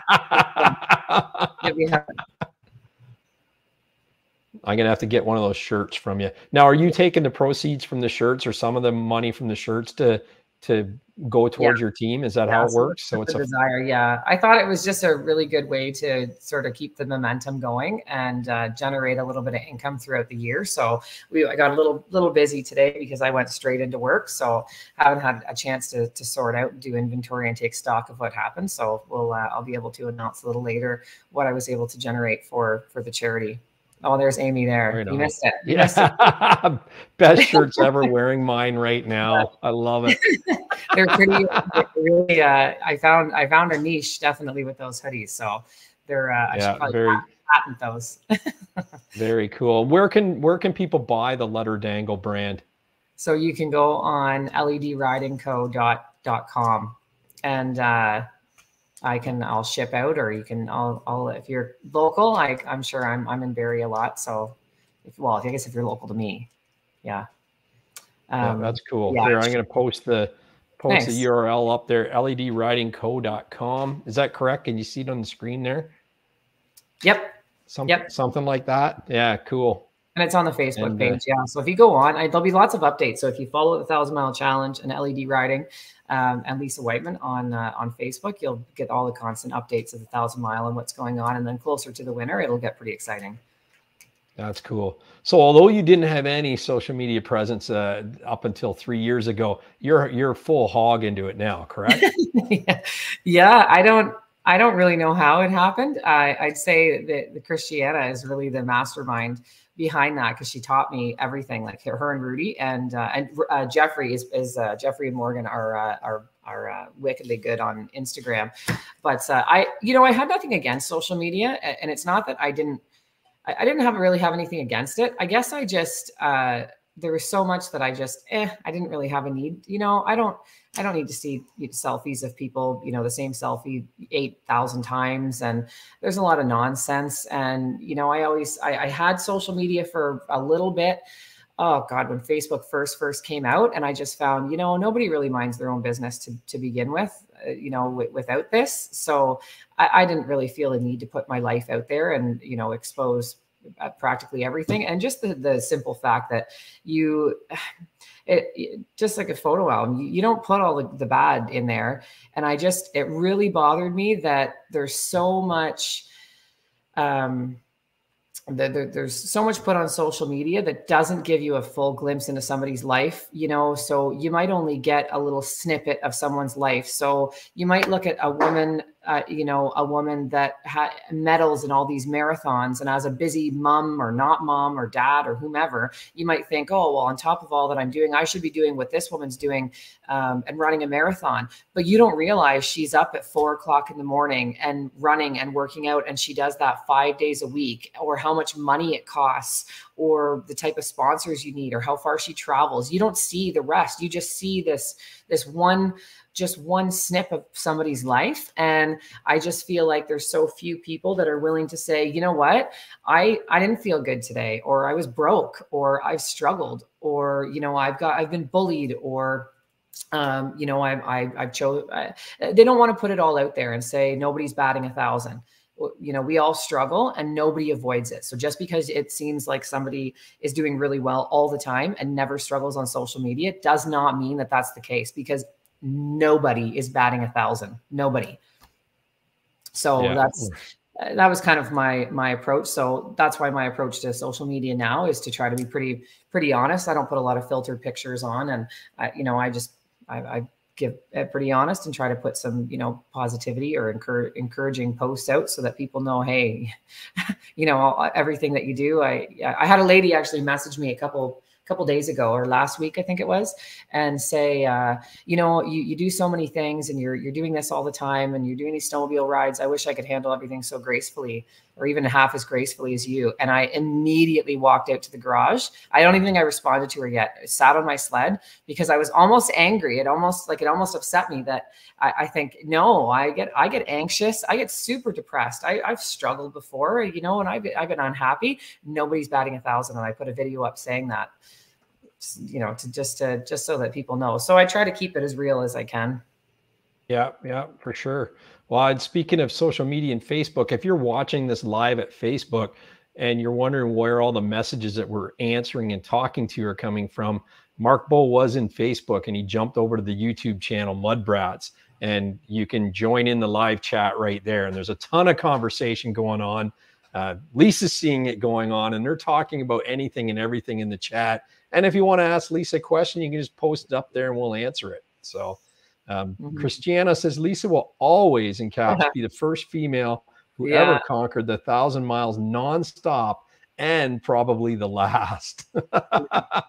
yeah, it's uh, yeah, it was definitely, it was really something. It's uh, I uh, yeah, oh, almost brings tears to my eyes reading it. It's, it's kind of one of those things like you, a lot of guys might look at it like, well, it's just a snowmobile ride. But I, I never, I never denied or disputed the fact that it was going to be more physically daunting for me. We, you know, we're, we're just not built the same. We know it's going to be physically harder for me. You know, I'll, I heard another girl, she was on a, a podcast and I, I, I couldn't quite figure out what she does. I think it's a mountain. I think she's a mountain rider and she said a lot of our strength is comes from our lower body so we might burn out our legs because we don't have the upper body strength and I didn't even occur to me until I went for a really long ride with my husband and his four or five buddies because I th- there's a couple girls that have come out and started in the last few years riding, but before that I didn't have any female friends that rode. So I rode with a lot of guys and either you learn to keep up or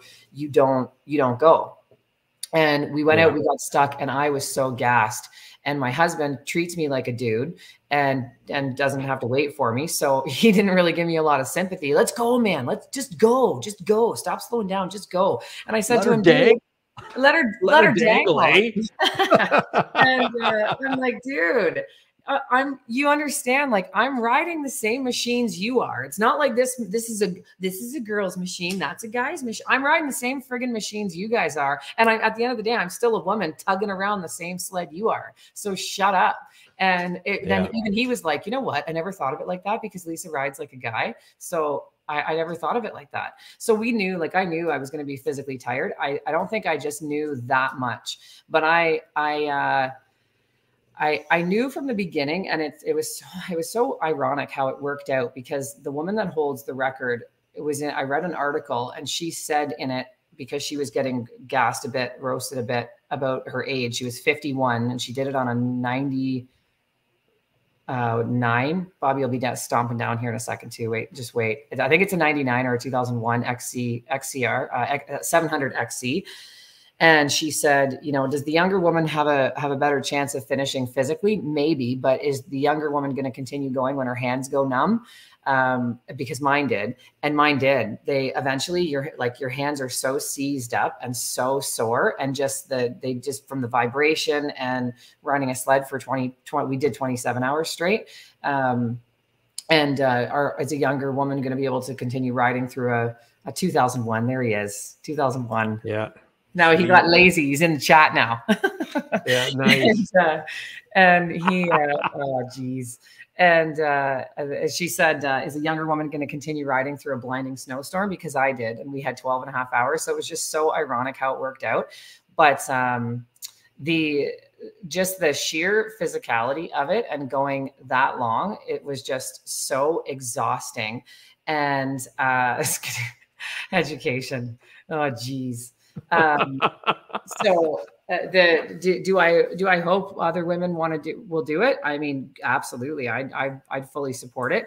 Um, and you know, and and show show tell them and show them as much as I can. But there's I knew going into it, you're only going to get so tired. So you to have the mental grit to peel yourself up and get back on. I, I mean, I don't know. Jeffrey, Jeffrey said he didn't think I was getting back on at the 500. It, it was 527, but at the five, the, the halfway point, and uh, I didn't realize how how convinced he was.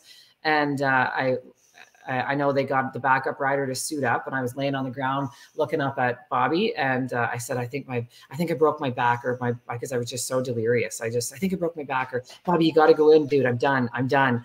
And he pulled me aside and uh, and said, um, I, I told him before the ride, you have to remind me that the pain of quitting is going to be a lot worse for me for the next 10 years than the pain I'm in right now. And he just kept telling me, Lisa, there's so many women that want to see you finish this. You have to, you have to keep going, man. You got to get on that sled and go. I, I, I told him, no, dude, I'm done. I'm done. I, I can't go anymore. I'm, I just, it, I was just so, I it was so hard. It was so hard. And uh, he said, Lisa, Lisa, if you quit now, you, you're you are gonna be so upset for the rest of your life. Like you're gonna regret it the rest of your life. You got to get back on and go. And then i walked back over to the sled and rudy was uh, was fueling my sled up. I think he had a t-shirt and a davy crockett hat on. He might have had a hoodie by then. T-shirt and a davy crockett hat on. And uh, I, he said uh, lisa the uh, the uh, oh that's what i said. The pain of quitting over the next 10 years is much worse than the pain of doing it now staying in it lisa so i am standing at my sled beside rudy and uh, i think morgan was was i think morgan and bobby were behind me and morgan was like they had no idea what to do. Like here's water and your peanut butter sandwich. And i i was sick to my stomach and she got me pepto-bismol and i i, I don't even know where jeffrey was. And I was looking at Rudy, and he said, uh, "Lisa, it's, it's sun's coming out here. You're going to get your second wind." And then I heard the other two sleds start up and they, they, I just come off the trail to my right and I was pretty out of it. And I, I heard the, the Mach go and then uh, scream, it's a triple, uh, scream over to the trail. And then the turbo went. And I thought, holy shit, they're here doing a thing. And all these people are sitting here right now, these two big support crews helping us do this, this thing. Holy shit. I'm, I'm here doing something right now all right. And you're one of four too, which makes it even worse. Go. It's not like you can hide. You no, know what I mean? I didn't really care about a whole lot there at that point. I, I just, I was just like, I was so, I didn't know what I needed. I don't, I don't know if I need to sit down or stand up or lay down or eat or like, I don't know what I needed. And it was just, just like instantly, um, holy shit, we're doing, we're doing this thing right now. And I was like, okay. And I pulled my helmet back on and away we went and the sun came out and oh yeah the, uh, the second wind picked up and i i think that that was our fastest fuel leg That's from cool. like crashing cool. and burning out and then we rolled in uh, to the the next one was the chalet uh, uh, Restigouche. So we left the clubhouse and went to chalet Restigouche, and it was our fastest fuel leg. So fast that they thought Jeffrey had left me behind, and uh, it was it was just him riding, and I had no Jeez. idea we were going that fast so we rolled in and got fueled up and i think that was so the, the halfway point was 5.30 uh was six o'clock in the morning uh, five five thirty or six. Yeah, was was exactly how. I think it was six because we were five hundred and twenty seven miles, and we stopped at five hundred miles. And Jeffrey said you just did five hundred miles in 12 and a half hours. So we were on point. We were on time um, by that point. Um, That's wicked. Now, are you are you working like do you have a workout regimen or was that first ride was it coached to basically coached to your trail rider and you just went and did it or did, were you yeah. hitting the gym to kind of prepare for this? Well, no, I I've always worked out. I uh I, and I I always went to the gym before the ride just because I thought I don't I I just couldn't see how it wouldn't help. Um I uh, started hitting my spin bike just to get like my shoulder muscles and, and get used to um, doing doing things for long periods of time. I got on the spin bike and I was trying to do a couple hours a day, couch to ouch. Yeah, yeah, yeah. Right. It was ouchy for sure. Uh, so no, I wasn't. I, I, I wasn't a couch potato before this happened.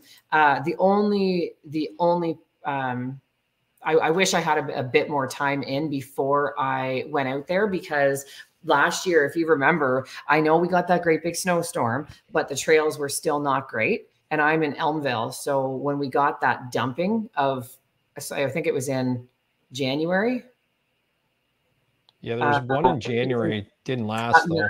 it but but it like shut towns down i know owen yeah. sound hanover uh their like entire town were shut down so guys were doing their christmas shopping on their sleds we sat and watched the radar and it skipped us every single time they they had towns shut down and i don't think we even need bobby not we i don't think bobby even need to shovel the front steps we got like next yeah. to nothing um december 24th is that when it was it was christmas yeah Eve. it was and it hit gravenhurst oh, yeah. and everything yeah that's right yeah of course, if they were doing their Christmas shopping, that it couldn't have been January. Dumb dumb. Um, well, you know, men start Christmas shopping early though. We always start oh, yeah. in January. Yeah. yeah so you sure. could you could have been right. You know that. that could have been. Yeah. Um, no, it is is painful. Yeah. Uh, yeah. yeah. And so we had no snow. So I didn't get out until Bobby was in February. Uh, February the first weekend of February, I think Bobby went out west. And so I went with our friends for a snowmobile weekend. And that was the first time I got my sled out. I think we did maybe 250K kilometers. And, uh, and then I went out to New Brunswick and I had, I don't know, maybe another couple hundred K with, uh, with them out there and then straight into the thousand mile. But yeah. so that's why, uh, that's why I, I like, I, I say it, it takes, it definitely takes some mental grit or maybe I'm just the only crazy one. I don't know. I definitely think it would take some grit. The other guys seem to they seem to laugh it off. They didn't they didn't struggle nearly as much. So I, I, don't know. Maybe maybe it was just me, but it definitely takes some grit because uh, some grit and people around you that want to see you finish. Like those yeah. that, those Rudy and Christiana and Jeffrey and Morgan and especially Bobby, like they wanted to see me finish. Bobby absolutely wanted to see me finish. He did not want me to quit, and he eventually said, uh, "I think he, I think he even threatened Chris Dumas and said, uh, you don't put your suit on, you're not going in." And uh, uh she's got to finish this. And Rudy said that each fuel stop, they were all pretty convinced that Lisa was out, and Bobby would come over and grab my helmet and uh, and dig deep and just you know remind me of uh, of not quitting. And then we stopped at there was there was a, a a fuel stop that was just on the side of the road, and I think it was I think we had five and a half hours left.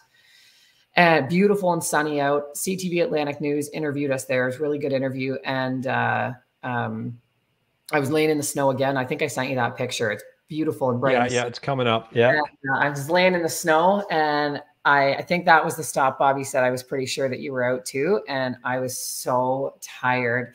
And they came over, and Christiana, Bobby said, uh, Christiana, uh, the lady put a post on for for Lisa, or maybe Bobby told me first. Um, uh, a lady put a post up and said, "I just donated twenty five dollars. Everybody go on and donate twenty five dollars for Lisa."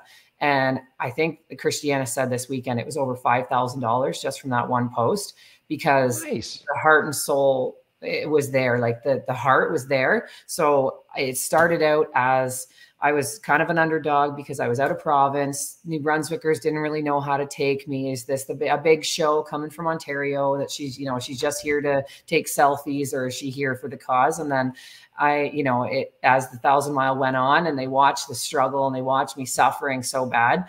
It's uh, it brought a lot of emotion out and uh, a lot of people that that just really really were with me there and struggling with me that just really wanted to see me finish and. Uh, um, so we had had the interview had the interview there and that's when they had told me um, you know lisa they, this woman put this post up and bobby said christiana how many uh, how much has come in from uh, from that post and she's absolutely bawling her eyes out and she said thousands and uh, I, I, said uh, you know that's that's all you kind of need to hear when there's people that are in it for for not just finishing a ride just for for watching somebody struggle and suffer and uh, and continue, you know, to continue going.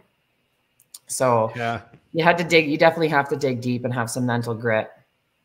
Yeah. Well, you know what? Like, and these the the fans that are watching this and in the chat, they're no stranger to this because we've had people on from Cain's Quest and we've had the Iron Dog uh, participants on the show, and it's the same thing that you're describing is the fatigue that you you can't imagine that you'd experience when you hit those big miles and, yeah. and to the point where where like the the I think it was the the Cain's Quest or I don't know which way race it was, but you're watching the taillight in front of you, you don't realize anything else going on. If there wasn't a taillight, you'd never finish. not, know, it's, not it's, a million years. And I uh not I, I wouldn't have finished if I didn't have the tail light in front of me that was in front of me. So Jeffrey, Jeffrey is one of the best best snowmobile riders as far as I'm concerned um, uh, in the province of New Brunswick, and uh, he rides with uh, trail etiquette, and he truly cared of the, the fact that I was behind him. Um, but he's fast enough. He's fast enough to keep pulling me, uh, but he's not so fast that I was ever without his headlight ever. And uh, we That's to say cool. headlight, we, we, it wasn't even the headlights. We had safety lights in the back of our our helmets, the bite harder safety lights. And uh, there were there were some points absolutely that's all I could see because I had snow dust blowing snow, but it was like accumulating snow. I, like a pile of snow. Shit didn't really get real with me with the snow until our second fuel stop. So that's uh, we we crossed. I was on in a in the school parking lot, and uh, I, we crossed over, and bought, uh, uh, Jeffrey's aunt was there, and Rudy and Kyle and and Christiana, I believe, were all there, and uh, they had been there waiting for us for a little while. So I thought, well, they would have been stomping the snow down, and I look and I looked down at the parking lot, and it was still over their boots, and I thought, holy shit, that's a lot of snow, and it like it's really coming down. Um, I, you know, we're in trouble here because this doesn't look like it's going anywhere. And they were calling for it. We knew it was coming, but it was a lot of snow. But that's all I could see was the safety, the safety light. So, yeah, there were. That's all. That's all you can follow. So, uh, he yeah. kept enough pace that I could see him, and he was he was never he was never too far. I don't ever really remember losing his tail light. Wow, wow. Was there is there any uh, accidents or uh, you know aside from the guy losing his track? Um, what kind of things do you experience out there, even wildlife? Uh, um, yeah. Have you got any neat stories about that? yeah. Yeah. The, uh, so there, there's moose on the New Brunswick trails.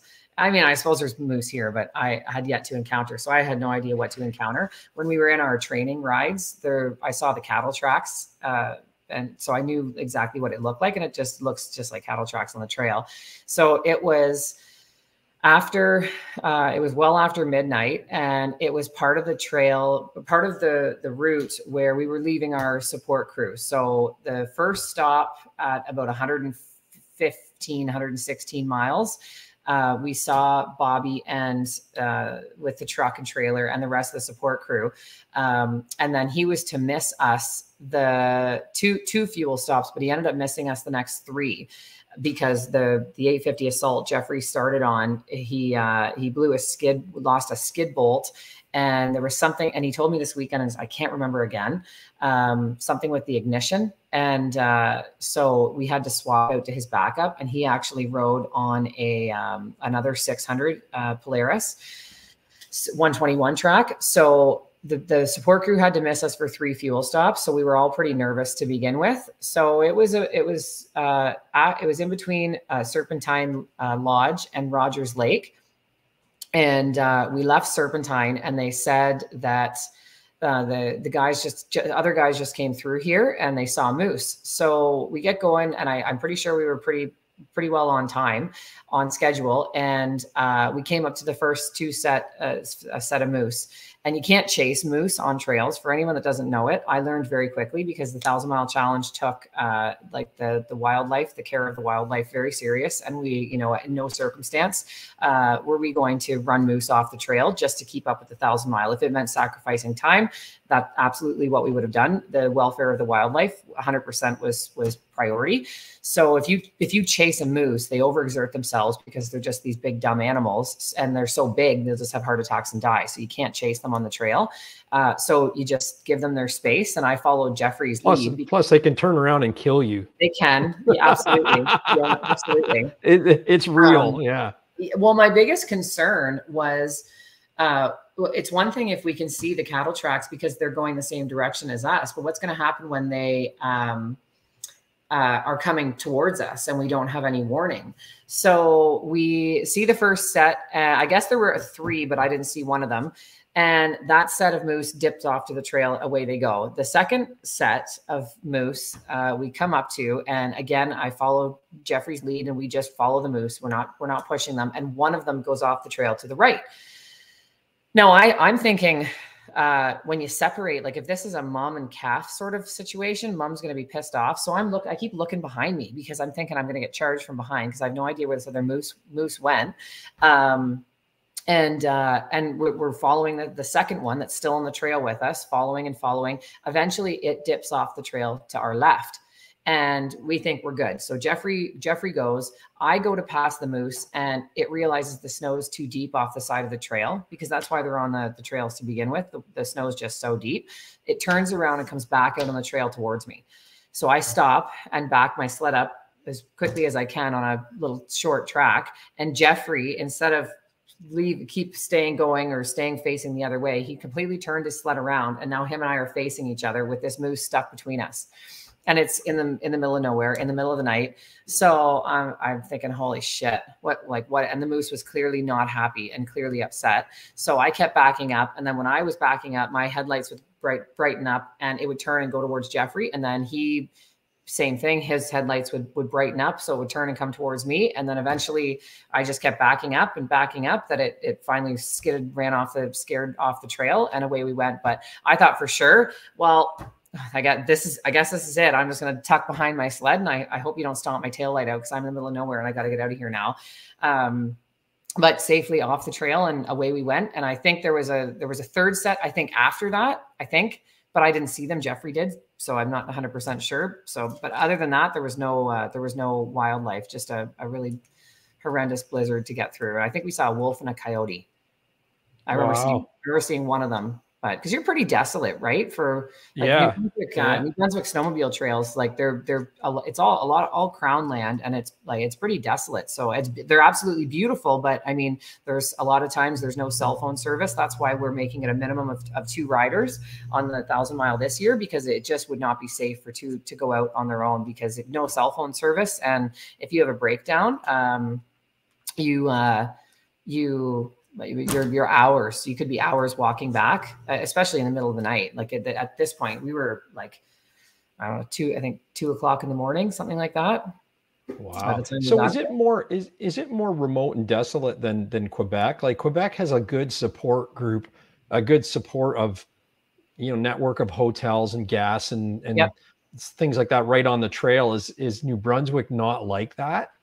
Um i i i haven't rode in in Quebec before, so in comparison, New Brunswick to Quebec, I I can't say for certain. There, you know, I think the the New Brunswick. Uh, I know Jeffrey. Uh, he goes to Quebec to mountain ride, uh, so they can probably correct me. But I'm going to say yes. I it might be a little bit more because I don't. There are some hotels on the trail systems, um, but uh, there's a lot of pretty remote trails in, in New, and that's what makes them so beautiful. Like that's what makes the trail system so beautiful there. Um, but uh, I'm, I'm going to say yes, that it's probably a little bit more desolate than Quebec, but I don't know. I don't, again, I don't know for certain. I've never rode in Quebec. So again, yeah. Oh, okay. Yeah. Yeah. I, and I've never in New Brunswick and only Quebec once, but from what I hear, so that's pretty There's cool. a lot of shacks. Yeah. I, I, know there's a lot of shacks in comparison to uh, Ontario where I've rode there's there's a lot more snowmobile shacks. Yeah, yeah. How many kilometers would you put on a regular, um, just a regular season joyriding, as far as just recreational riding? Um, oh, it depends. Um, like you I were doing say, Crownland originally, it's not you're not going to be yeah. logging big miles, right? But when you start riding OFSC area, are you doing? Yeah, I'd know? say so. Weekend with the trail, the snow as bad as it's been last winter, uh, barely any thousand mile challenge. And then I might have put another thousand miles on myself. It, I mean, yeah. if not like uh, not myself outside of the thousand mile challenge. And I'd say it's probably about the same. I mean, you know what the Ontario trails are like to say that you did a, a 250 kilometer or 300 kilometer weekend in Ontario. I mean, or in a day, that's a lot if you're, you know, Haliburton, where you're all a lot of bush, right? And if the trails yeah. are junk, a hundred a hundred kilometers can can take you all day if the trails are absolute garbage. So it, yeah. it's hard to say. I, if I was in New Brunswick, um, which is certainly not not off the table, I'd probably put a pile more on because the infrastructure there is just it's around snowmobile. You can go absolutely anywhere. You get your groceries. You go Tim Hortons. You can you can go anywhere in New Brunswick on the trails. Yeah, Bobby says you you usually just do about 2,500, which is yeah, a pretty normal season, right? That's a great season. Actually, yeah. it's not yeah. not to sound sexist or anything, but that's a that's a wonderful season for a female rider because most yeah. of them are at home, you know, while their husbands are out. So yeah, that's a that's a great that's a great season for any man, let alone uh, a female as well. So yeah, do you and your husband ride often together uh, oh, through yeah. the season? Yeah, uh, always. Uh, and then do, do you just keep your daughter in the trailer while you do that or? Yeah. Yeah. We uh well we have uh, uh, the, the group that we ride with like the the letter dangle dangle witter he's in hanover and bobby's parents are there they're in carlsruhe so um if we're if we're riding there then we'll go there and, and leave the girls with his parents for the day and uh, yeah, kilometers, 2,500 kilometers. He means not miles. Yeah. Um, yep. And uh, and then the same if we're gonna ride Muskoka trails and go go north if we can, then we'll go to my parents' house. They're in Bracebridge still, and they're right across the, the, the road from a school, so we can park the truck and trailer. And they live on the trail. Uh, but the Bracebridge trail systems eh, haven't been haven't been great because they cross a lot of lakes. So if you're and I, I don't, yeah, I'm not, I'm not a big fan of, of water. I, uh, it's, it's every man for himself as far as I'm concerned. So I just get off the water as fast as I can. Um, so yeah, I'd say that's pretty, pretty standard. Morgan just said uh, that there's a lot of gas in hotels right off the trails. Um, yeah, but further up north where the snow is, there tends to be less around. So that's, and that's kind of what exactly what I was thinking. That when you go further north, it's, it's quite desolate. It's absolutely incredible. Like going through uh, Moose Valley, the trails were pretty rough for us. But if those trails were beautiful and smooth and groomed, oh my God, they're incredible. And Christmas tree, I didn't even know Christmas tree. Uh, uh, uh, Christmas tree uh, mountains. Christmas Christmas mountains. Ah, Christmas yeah. mountains. And Christmas uh, mountains, I think I said I think I said in a post about uh, I went through some some place with uh, that with, with, two feet of snow through through a Christmas village that looked like a Christmas village, and somebody laughed and said that was Christmas mountains. I think it was Chris Chris Dumas that said that. Yeah, Chris, Christmas. That's cool. Christmas yeah. mountains. Chris. Anyway, um, but uh, yeah, so it, it, that's what I thought. It's a little more desolate. So I would think uh, Quebec probably has a bit more gas stations. Yeah, yeah. We've had we've had riders send pictures, fan photos in from from New Brunswick, and Christmas Mountains is one of the the pictures there. Corey yeah. asked, "Do you have any sponsorships? Like, do you have a yeah. dealer you work with, or or anything like that?" Yep. So for this season, um, we I, am working with a couple of quite a few different uh, companies, and this like personally and with the the thousand mile challenge. Um, so uh, I, yeah, I've got I'm on on with quite a few different different companies. Ch- I think I've I posted quite a few pictures now. Choko and uh, Dayco belts, um, Bite Harder, C&A skis. I'm doing the ambassador program ambassador program with, and yeah, my my home dealerships is Seguin uh, Seguin Power Sports. They're in uh, they're in Seguin, so they're up north, um, and she's taken pretty good pretty good care of me. Yeah, she's right she's on there. Right on. Yeah. That's good. Great, great cause though too. So I can see why. Mm-hmm. Um, I'm just gonna fire up the uh, the the fan photo here again because we've got your. is this your first sled we're looking at here? Yep. No, that's that was one uh, that was even after my indie. So that's one that we thought the girls would be good because I said, you know, I I learned on I learned on an Indy 500 the same winter as a five year old, so I think she'll be fine on on that. So that was a 250. I loved that sled. Bobby was the one that wanted to sell it. I would still have is it. A Polaris is that a Polaris Star? Yeah, two. It's 1985. Nice, love it. I loved it. I loved machine. it. Oh, I really wish we hadn't sold it. But he's like, well, what are we going to do? What are we going to do with it? Uh, I and now we have another Skidoo, old Skidoo, so 2001, I think it is, Mach out there at 500. It just, it, that sled was amazing. But just, it couldn't. Got a, nice. Let's take them from a 250 star to a Mach 500, shall we? yeah, right? I love it. I love that sled. It's because it wouldn't get him up the uh, snowmobile, uh, the toboggan hill. It wouldn't get him up to the top. So that's why, that's why he wanted to sell yeah. it. That's right. And and the, your your kids' arms weren't weren't long enough, so you have to yeah. put on with something to really stretch them out. well, that was the same ride that the Kelly Shires uh, um, mud run, mud run for Kelly uh, at the Watlings. Is that that was the same one? I filled. That's wicked. How, how, many riders go in the wind in the in the mud run? I I think it was 40, about 45. They had they separated teams, so there were three different uh, rides, just depending on what you want to do. And I mean, that's a mud bike with mud tires, meant for mud, likes the mud. Uh, so like hill climbing, I almost I thought I was flipping over backwards, and then Bobby got off like a smartass and said, "Here, I'll do it," and did the same thing, exactly the same thing I did. Yeah, so, great. Oh, Amy says it's 65 participants. Oh, 65. So Thank great. you. Yeah. yeah. There you go. Yeah. Excellent. Yeah. Unfamiliar territory. yeah. Oh, yeah. Love it. And here we go. Th- uh, yeah. This is what Corey Brock's going to ride the thousand mile challenge on is the, yeah. the GT snow racer right there. Yeah, exactly. I'll tow you. I'll tow you. Or no, yeah. we'll get the Elan towing him. Yeah. The Polaris Star is a great GT snow racer tow vehicle. Isn't it? Yeah, you know? I liked it. So, I wish we didn't sell it. Yeah, that's cool. What what's going on in this photo? It looks like you're you're using the sled to tow people back up the hill to go tobogganing. Yeah, Is I think I'm looking at bottom. Yeah, Bobby and the dog are at the top of the hill, and uh, I came back to get the toboggan to grab it, and then drive her and uh, the toboggan back up the hill. No, I don't want to walk up. Nobody's got time for that. Get the sled. No, that's right. We're, like, we're right in town, Barry, in this picture. yeah, no, it really is that right? Yeah, that's great. Like a couple of hillbillies. I'm like, ah, we better we better take this back home before somebody calls township. Let's go. Yeah. Well, and when you and Bobby are up north this winter, make sure you look me up because uh, yeah, I, am up in Port Sydney area, so yeah, um, we're not like far from from Gravenhurst and that kind of thing. So yeah, you you yeah. ride right through my land if you uh, if you ever ride from Port uh, Gravenhurst to Huntsville. So it's uh, yeah, yeah that's definitely we that's a good. We'd day. love to ride with you. Yeah, for sure. There's the dangle.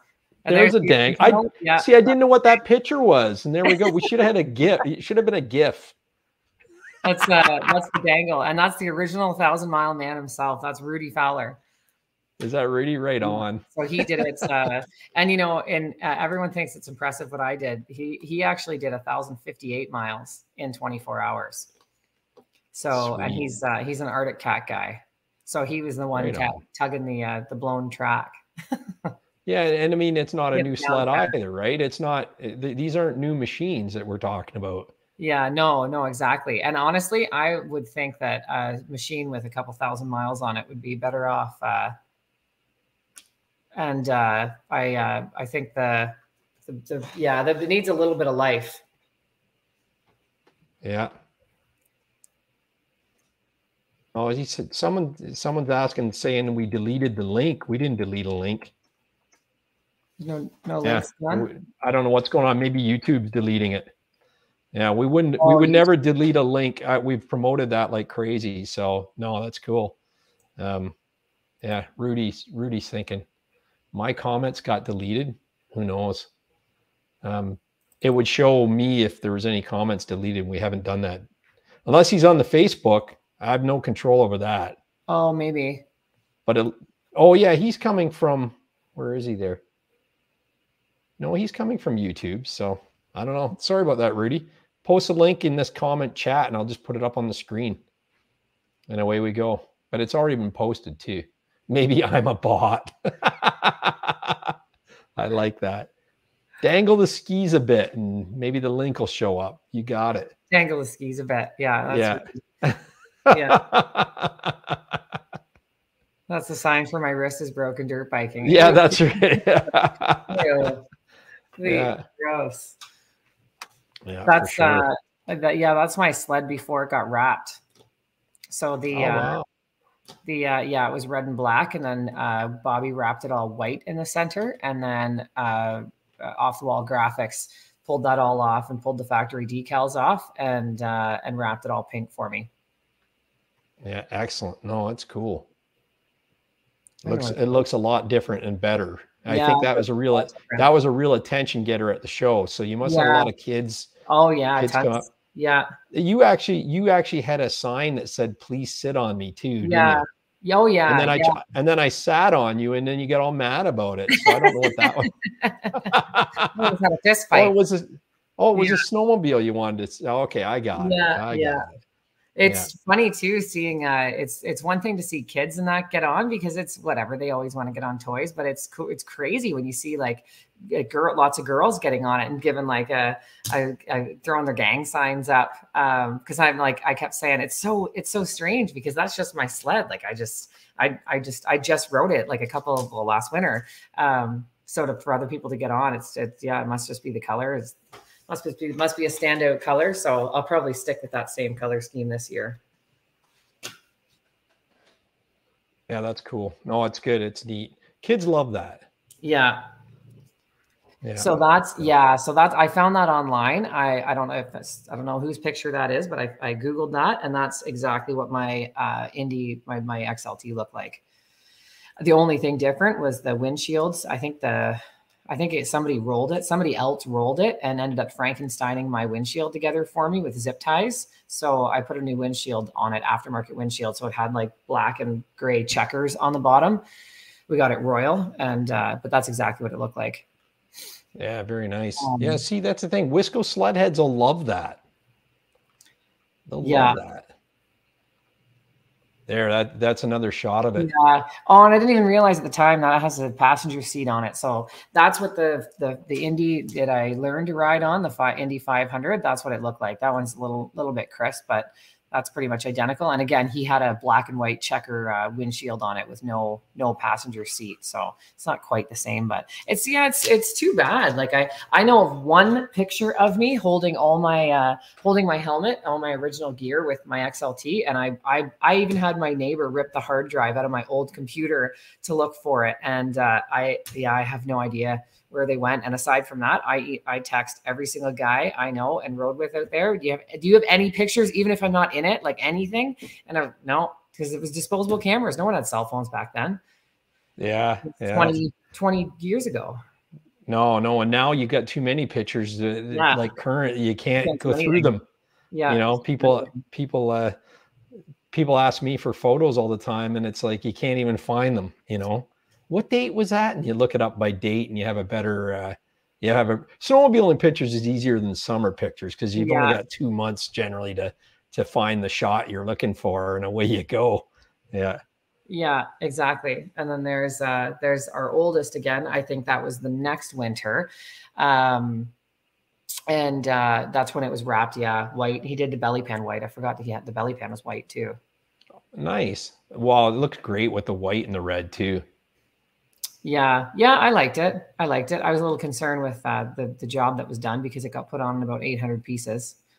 Oh no, yeah, that's the thing. I I've done a I've done a player's uh, an older wrap like that just yeah. last year, and it's the same thing. It's a lot of little square triangles and yeah trapezoids and things like that. You're, you're exactly spots. So yeah, because yeah, we did a exactly. color change to match the uh, sled girls. There's a a pink, black and pink version that we did. Um, turned out pretty good. Yeah, yeah. So that's uh, that's Kelsey at Seguin Marina and uh, her husband Kurt. So that was when I uh, went over to see her and just uh, kind of connect with her. I took my sled there, and she that's when uh, for her to put the new front shocks on and charge my rear charge my rear shocks and just give it sort of a once over. Really, really good people. Yeah, they're they're really yeah. good people there. So it's going to be um, uh, uh, Seguin Power Sports now.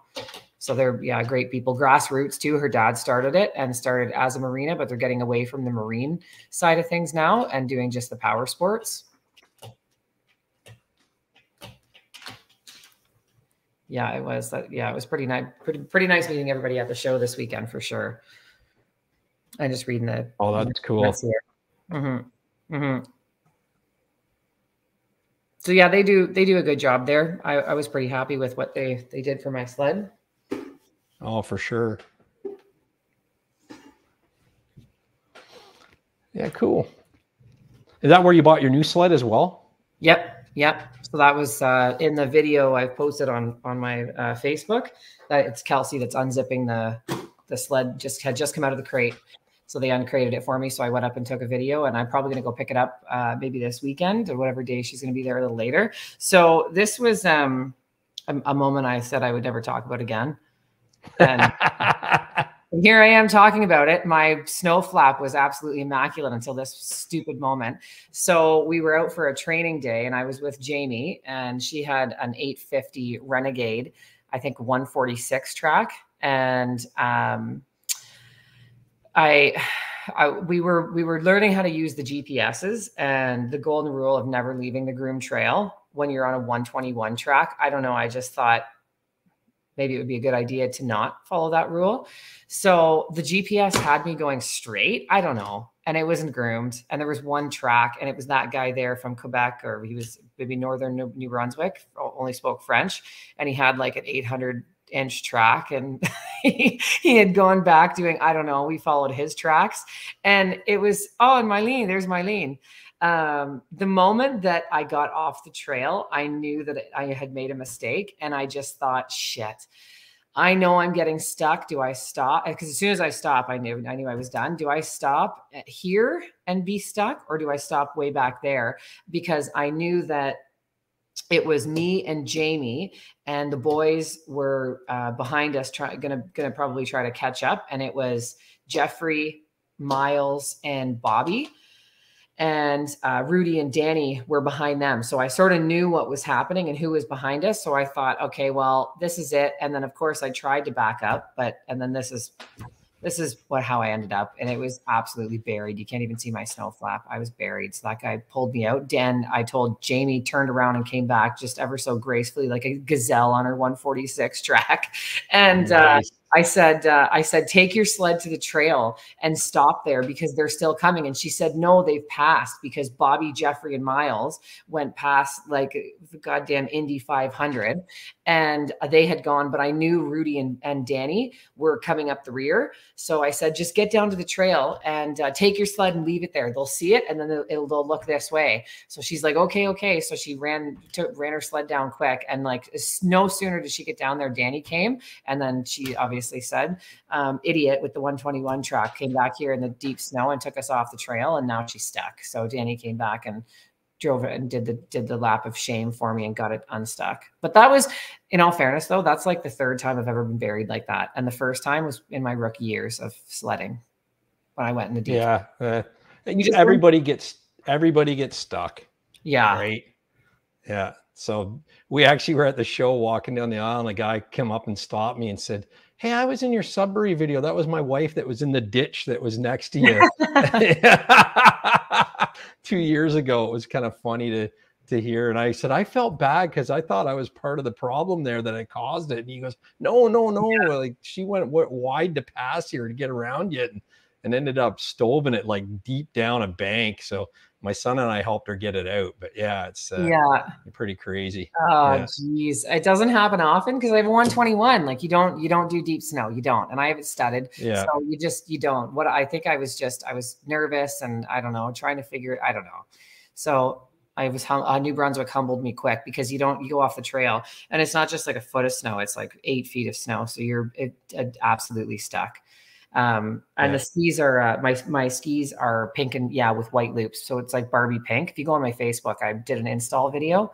Um, actually, it's not a video; it's about sixty five pictures all spliced together because the video would have been uh, really long because we don't have a jack. So no, that's right. Um, yeah. yeah.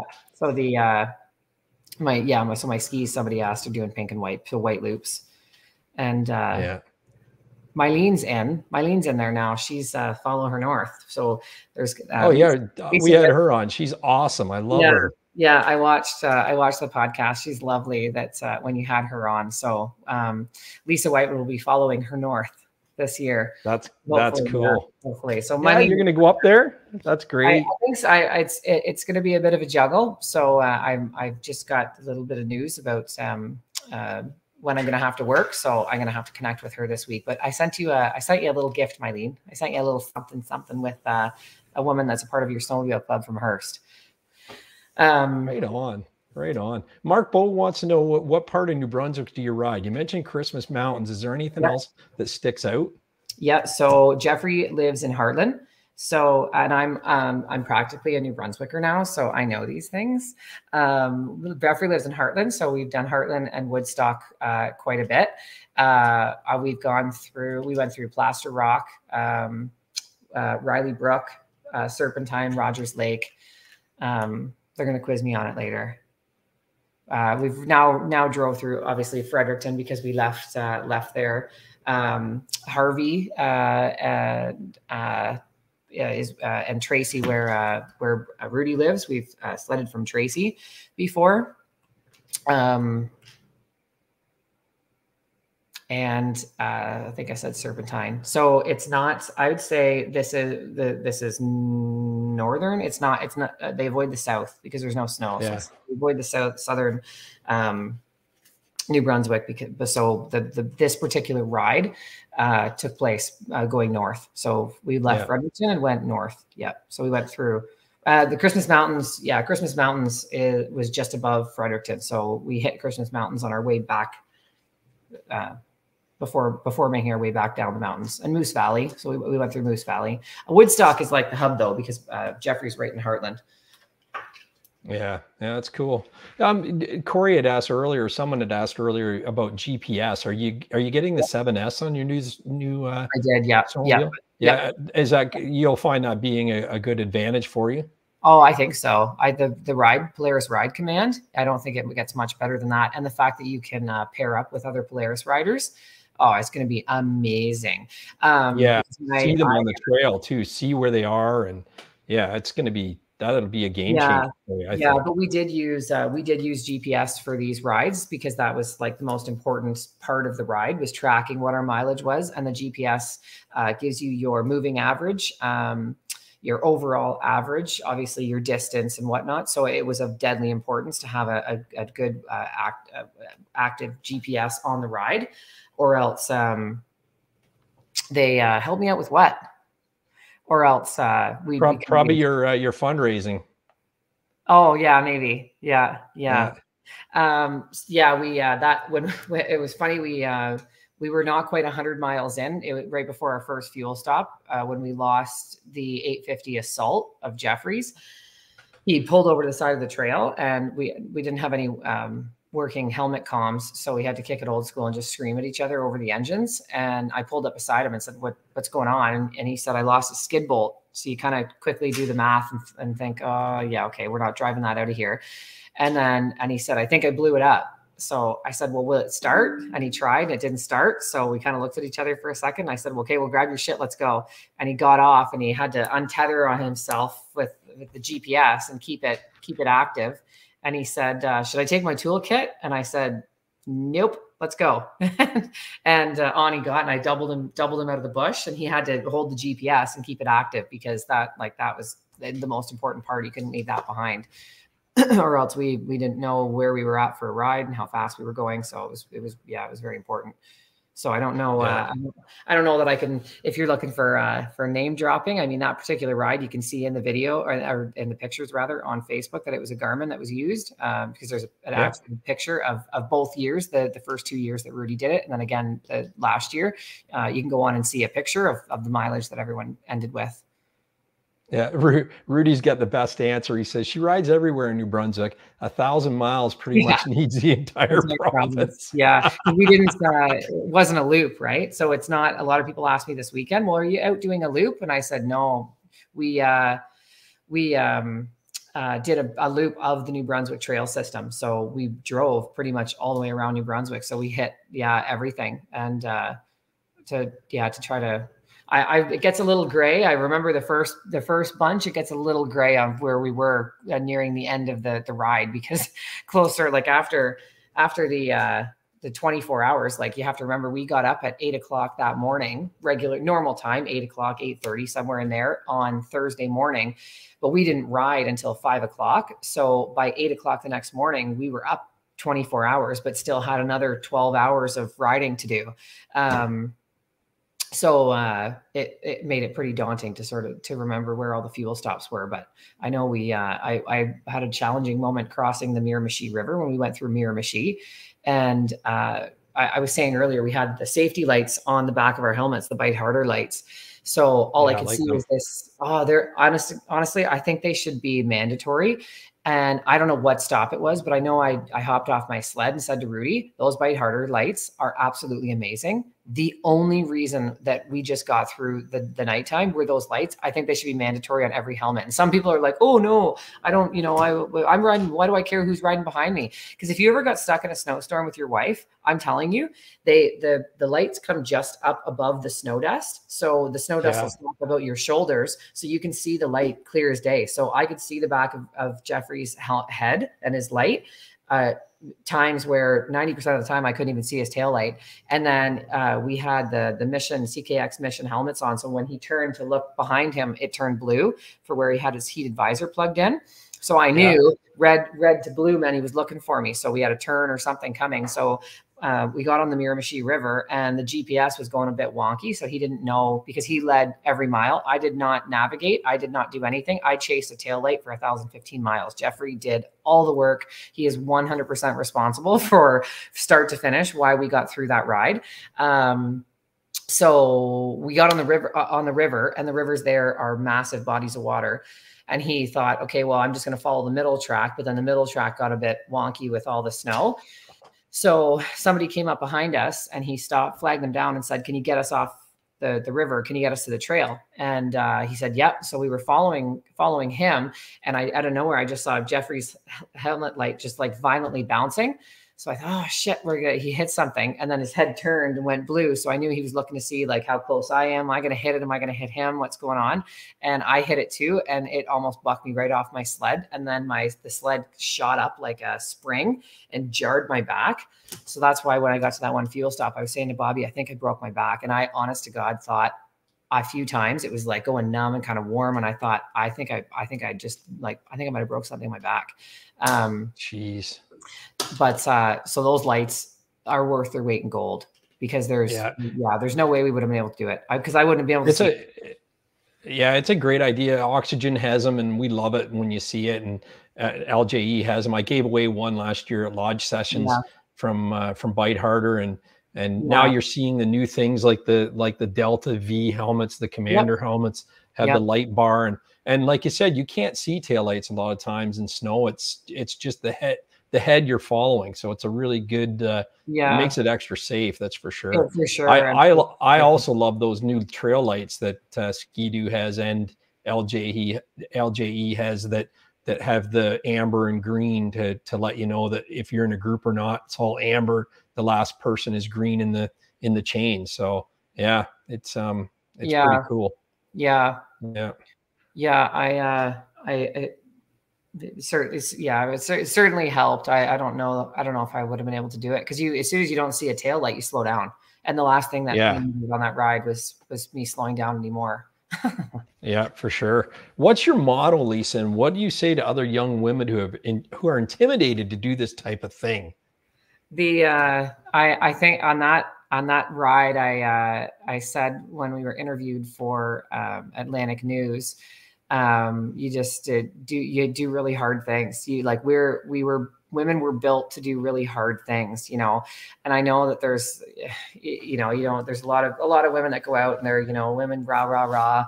It's uh, but I mean, phys- the physicality of it, a hundred percent. Men men are physically stronger than us, absolutely. But uh, to keep your head in it and to have the mental grit. I, I truly think that women are are stronger. We're mentally stronger, and um, my you know my, as my husband would say all the time. So I uh, I I said I kind of I said during that interview, and it just stuck that like we we were built to do hard things. And, uh, and and challenge yourself and go beyond your capabilities and and do things. You have no idea what what's capable for you and what's possible until you push yourself past limits that you ever you ever thought possible. So if you you know if you put a, a, challenge or an obstacle in front of you that's so incredibly daunting and bright uh, or bright i'm reading half reading the comment here and so daunting and difficult um, if you can surpass that everything else just seems like puppy poop now. This is like it's it's super easy when you know well i'm capable of this. So um, I, I i tell I, I say that all the time. That's what christiana is talking about that to, to do we were built to do hard things. So just you know you can challenge yourself every single day I love that. And and for for a female rider that maybe you know is just getting into the sport, um, mm-hmm. hasn't really doesn't really have much seat time. Do you have any tips on on how to get to that the stage mm-hmm. where you know you're you're doing larger mileage in a in a ride? Not necessarily a thousand miles, but you no. know, you, what what's your word of advice to learn the ropes? Well, you uh, you have to get out there and do it. Like first off, um, and uh, I I always try to say like we need to normalize beginner riders because I've rode with lots of girls that come out and you know they're pretty uncomfortable because they can't keep up or they see me riding. Uh, you know I've got 20 years experience uh, of trail riding, and uh, I can maybe ride a little faster than them and it's discouraging, but I, I tell them all, everybody know your limit, ride within it because uh, safety and, and capabilities is 100% the rider's uh, fault and responsibility when you're snowmobiling. Other things don't really don't really affect snowmobiling. It's it's 100% you. Um, so know your limit, ride within it. If you need to ride the back of the pack, ride the back of the pack. And I have more respect for the riders that know they're beginners, that you know they ride the back of the pack, they ride in their capability. Um, and they ride safely and to their limits and not outside their limits where we're digging them out or pulling them out or they're crashing the sled or you know they're they're rolling the sled or driving off the trail. There's there's no there's no there's nothing to be uh, ashamed of or embarrassed about getting to know the machine um, and you just you just have to get seat time. You just have to keep trying and keep going and the ability will come especially if it's uh, if you find the passion at, for you know for the throttle therapy like the rest of us do um, you'll yeah you'll you'll get there. Um, and i you know and other other male riders i've i've rode with i've said like you um, exactly you got you have to start somewhere. And uh, the guys that you ride with anybody that makes fun of someone that's riding the back of the pack you're truly the idiot there. Like you nobody rides a sled an atv a motorcycle their first time like they've been riding for 20 years. So pretty much shut up. Let a beginner rider be a beginner rider, especially if it's somebody younger or somebody female, because the future of power sports depends on it you know there's a place for there's certainly a place for women in snowmobiling um, and if you know we we allow them the space to learn and be beginners then there'd be more of us in the sport. It doesn't it, you know it's i think i saw i saw another group of girls put a post up that says power sports are, uh, is uh, is hard enough. Um, let's you know let, let's uh, be heavy on the women women supporting other women. Um, and you know in saying that the only the one thing I, I have noticed that I, I wish I didn't see as often as I do is the uh, the women supporting other women in the sport unless you're a woman supporting other women in the sport, oh, then I don't want to support you. And I've put posts up to say just because uh, we're doing the same thing doesn't doesn't mean we're like automatically competition. Everybody's got their own niche. You know, if you're a snowcross rider or if you're an oval racer or you know you're you, you're you know the first woman to do a thousand miles doesn't we don't doesn't uh, mean that we're we're all in competition, right? We're all in the same space, just trying to make a you know normalize other women riding, but yeah, you have to start somewhere, get out and just keep trying it. Um, drive the sled, you know, drive a sled that you're comfortable with, whether it's, you know,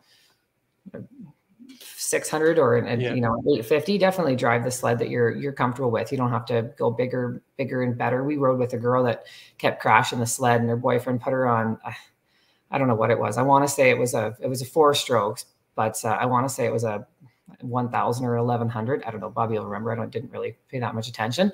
And this chick had to have been 93 pounds soaking wet. And i like i said why is he putting her on that great big ass heavy machine? Like why doesn't he just go and get her a 550 adventure or like a 600 Indy like some something that's you know maybe a little easier to to ride and, and go because she kept getting stuck in ditches. Like it's 400 it's a four stroke it's heavy it's going to be harder to ride. At least that's my opinion but yeah we yeah. need more yeah. for sure yeah, for sure. We find that like last year we had three women in our lodge sessions ride and, and they okay. rocked it, absolutely rocked it. And yeah. I'd like to see more. I'd like to see that grow and, and away we yeah. go. My wife's learning the ropes. She's getting back into Good. the sport and, and yeah. uh, it makes a difference to have the right machine as well. It definitely makes a difference. Absolutely. And, uh, and studying it, I, I think definitely stud, I believe in studying your sled. Um, and uh, for like for for safety but um, it just it, everything comes with practice everything everything comes with time i did not ride a sled very well my first few years, especially that heavy XLT. I would get stuck and I, you know, powder intimidated me a little bit and I wasn't that fast. I, I still, I, I had that sled for 10 years. I don't think in my 10th year of riding it, I could even, I could start it from cold, half choke and yeah. full choke and quarter choke and turn the choke. And now you flooded it and choke, choke, choke, choco. yeah. This is, Oh, it was an 1100. Yeah. So it was an 1100 four stroke. The boyfriend put her on 110 pounds soaking wet. Idiot. Like go, go wow. and get her five, get her a 550 adventure. Perfect. Yeah. Um, not yeah. an 1100 turbo. Like there's Justin Young. Eh, the concern about him doing the thousand mile on that big machine is it's a lot of machine to push around. And he's a, you know, 260 pound, 27 year old boy or 26 year old, whatever. Oh, I can, I think I said something wrong. I can hear some angry footsteps coming down. No. uh, yeah. So that that's yeah that's that's my opinion. But no, I couldn't ride. I couldn't ride very well my first few years. But I just know I just knew I love this. And I think because I got into something uh, after so many years of being bugged and bullied, um, relentlessly, even my own brother, uh, relentlessly bullied, I found something that I really liked. And then eventually I found something that I could do well enough that even the guys I was riding with couldn't say anything about. Um, so I, I, really liked that, that I, I kind of found my ability or, you know, my a passion. So even now when we go out, I'll, uh, you know, know, everyone kind of knows, oh, Bobby brought his wife, or now we're going to be sitting here waiting for her all day long. So I'll usually go out and hot dog so that they shut the F up and then nobody bugs me for the rest of the day. Because yeah, usually, yeah. usually there's a few of his buddies behind me. Until I went right to New Brunswick. You go to New Brunswick, and New Brunswick has a way of humbling you because Bobby and I went out there as not, we didn't go out with a chip on our shoulder, but we went out there as experienced riders and not, you know, mid mid to, to front of our groups for for ability and speed. And both of us went out there and were immediately schooled, which I figured was going to happen. I rode with a couple with uh, not a couple. I think it was only one. I, ro- I only rode with Jamie. Was the only female. She dusted me. And, uh, yeah. The same with Bobby. Bobby was getting dusted by 60 year old men, like dusted. They well, are, and, uh, and if you, if you ever go into anything, expect thinking you're the greatest and exactly expecting yeah. it to be the best, not, not expecting to learn something. That's where it becomes dangerous. Yeah, right? exactly. Yeah. So to yeah. say that we were to say we were humbled uh, insinuates that we went out there with a chip on our shoulder, which we did not. We didn't know what to expect. We had we had no clue of the New Brunswick systems. Uh, we just were um, immediately surprised. Morgan, uh, Jeffrey's uh, wife, uh, same thing. She can rip. She says she doesn't like doing long days, but uh, to go out for a few hours with her, um, yeah, she can rip and catwalk and they it's a different yeah totally different out there rudy's an absolute and a savage He's a savage. love it. I love it. How do people follow you on Instagram or and Facebook? If you want to shout out or or even put in the chat your your uh, socials, and I'll just post them on the on the screen. Uh, yeah, uh, everybody and put that supporter link up as well because uh, I want to make yeah. sure that gets uh, that gets shown. I think, uh, yeah, I think um, I, am not logged in here, so I can't get the chats in. But I'm I'm pretty. Excuse me, you. yeah. yeah. I think it was a mistype on that one. oh, did she say something? Oh, okay. Yeah, she took uh, it down. She actually deleted it. She? uh, she, uh, yeah, she, um, she, I think uh, Christiana will probably throw them in here because I can't get logged into to YouTube. But uh, I'm pretty easy. Oh, okay. On uh, I'm pretty easy to find on Facebook. Lisa uh, Lisa Whiteman. Um, Instagram is uh, L Whiteman 22.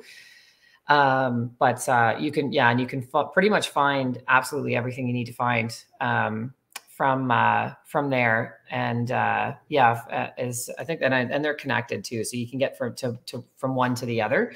Um, yeah. So yeah, you can go on and follow. And you know, like I said earlier, I try to I try to keep you know pretty pretty positive, pretty motivating things, and I post out lots of uh, um, lots of uh, a thousand mile content. So you you know you can follow that. So follow me on Facebook to to see all the upcoming events and what's happening with uh, World Record and all the all the sponsors and ripping with Ben's wife, Ben's for the photo, yeah. So we drove to Ben Cummings. He took a wicked, made a wicked video for us, and we did some pictures. And uh, yeah, and she, yeah, she can, she definitely can move.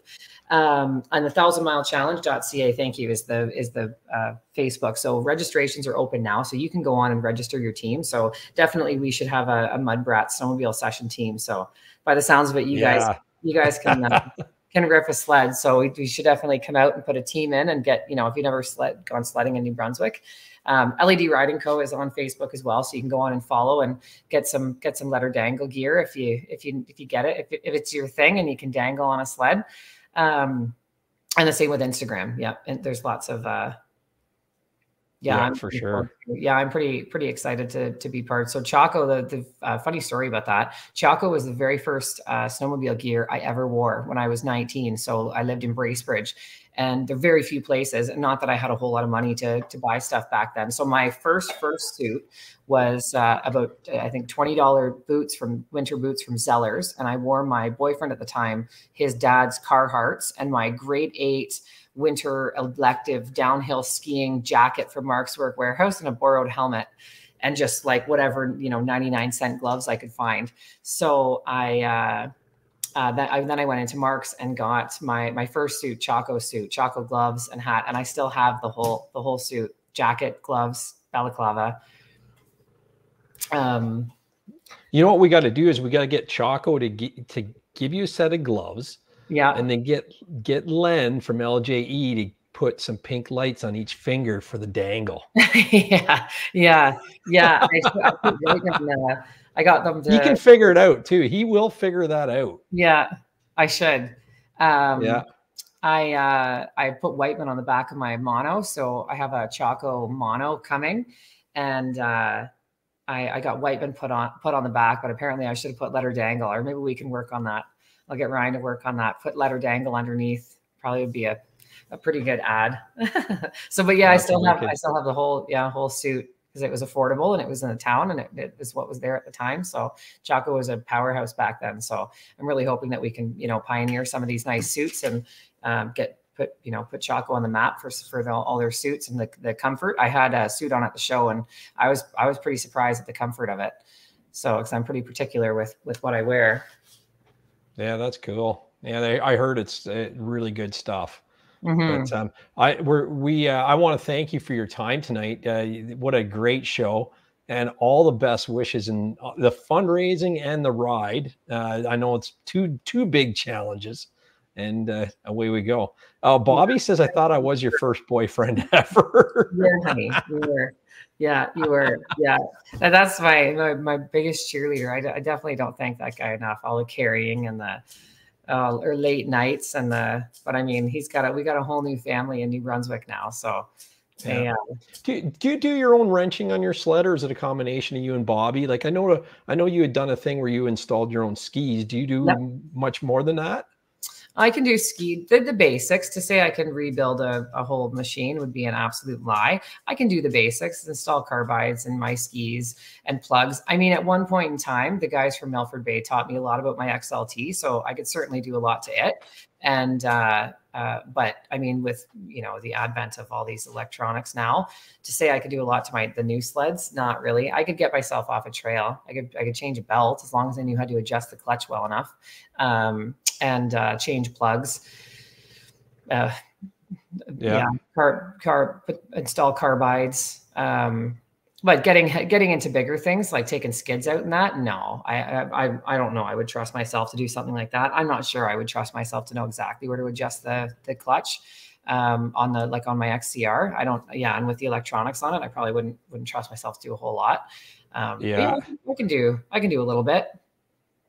Oh yeah, for sure. No, that's good. And you're always learning, which is really nice, right? Yeah, you kind of have to. Yeah, you kind of have to. Jeff Jeffrey does. He's always out there working on something. So I mean, he taught taught us a lot this winter. Um, I learned quite a bit from him. Yeah, excellent. The XLT will show you how to do plugs. yeah, exactly. I guess he's insinuating that they foul a lot of plugs. Yeah, it was only one winter it did that. Jeez, it was only one. Yeah, yeah. I didn't usually didn't get too far with it, replacing one. Matter of fact, I used to keep my plug the plug wrench in my jacket. yeah, for sure. Yeah. No, that's great. Yeah, thanks a lot, everybody, for the kind words, and uh, and hope you all have a good night. We got another banger next week. Uh, the three old guys trip to Alaska Monday oh, awesome. at 7 p.m. Oh yeah, that's going to be a fun night. And uh, yeah, for sure. But definitely keep me posted on how your fundraising goes. We will. And uh, and even uh, if you want to hop on before the ride or after the ride, I'd love to get an update uh, from sure, you. Yeah. And uh, and that would be fun to have you on after the ride and and talk yeah, about the sure. uh, you know the the tra- trials and tribulations and yeah away we go but yeah uh, rudy or have uh maybe we can plan another night that you get rudy and jeffrey on and i'll and or yeah. and i will come back on and pop on because you'll uh yeah you'll really get a kick out of rudy yeah, the quite, more the merrier for sure. I love that. Yeah, so yeah. So I'll talk yeah, to those definitely. two. I know we had chatted about that. I'll talk to those two and see. Jeffrey likes to stay out of the stay out of the spotlight. So he gets pretty t- he gets pretty bashful so he wants to be out of the spotlight so i can't promise you'll see jeffrey but i can I, yeah I, am going to talk to rudy and you'll, you'll, probably be able to, to see rudy that's cool that's cool and then have bobby look me up and we'll go you and me and him will go ride and we'll show you yeah, what Ski-Doos sure. can really do Oh, yeah. I'll use always, There's always that one screw guy roasting in the comments section. Always. we got it. So I'm gonna I'm gonna run our credits. If you want to hang out afterwards and chat, that'd be great. But sure, uh, yeah, thank you, thank you again for your time. I really appreciate yeah, thanks it. Thanks a lot. Uh, thanks everyone for and, tuning in, especially with the, from the East Coast because they're an hour ahead of us. So yeah, they're an hour or two later. They said uh, they're right, they are ahead of us. So yeah, yeah, they, yeah, yeah, so yeah for sure. And thanks everybody. That was a great show. Good chat. Lots of good conversations going, and and away we go. Thanks, Gary.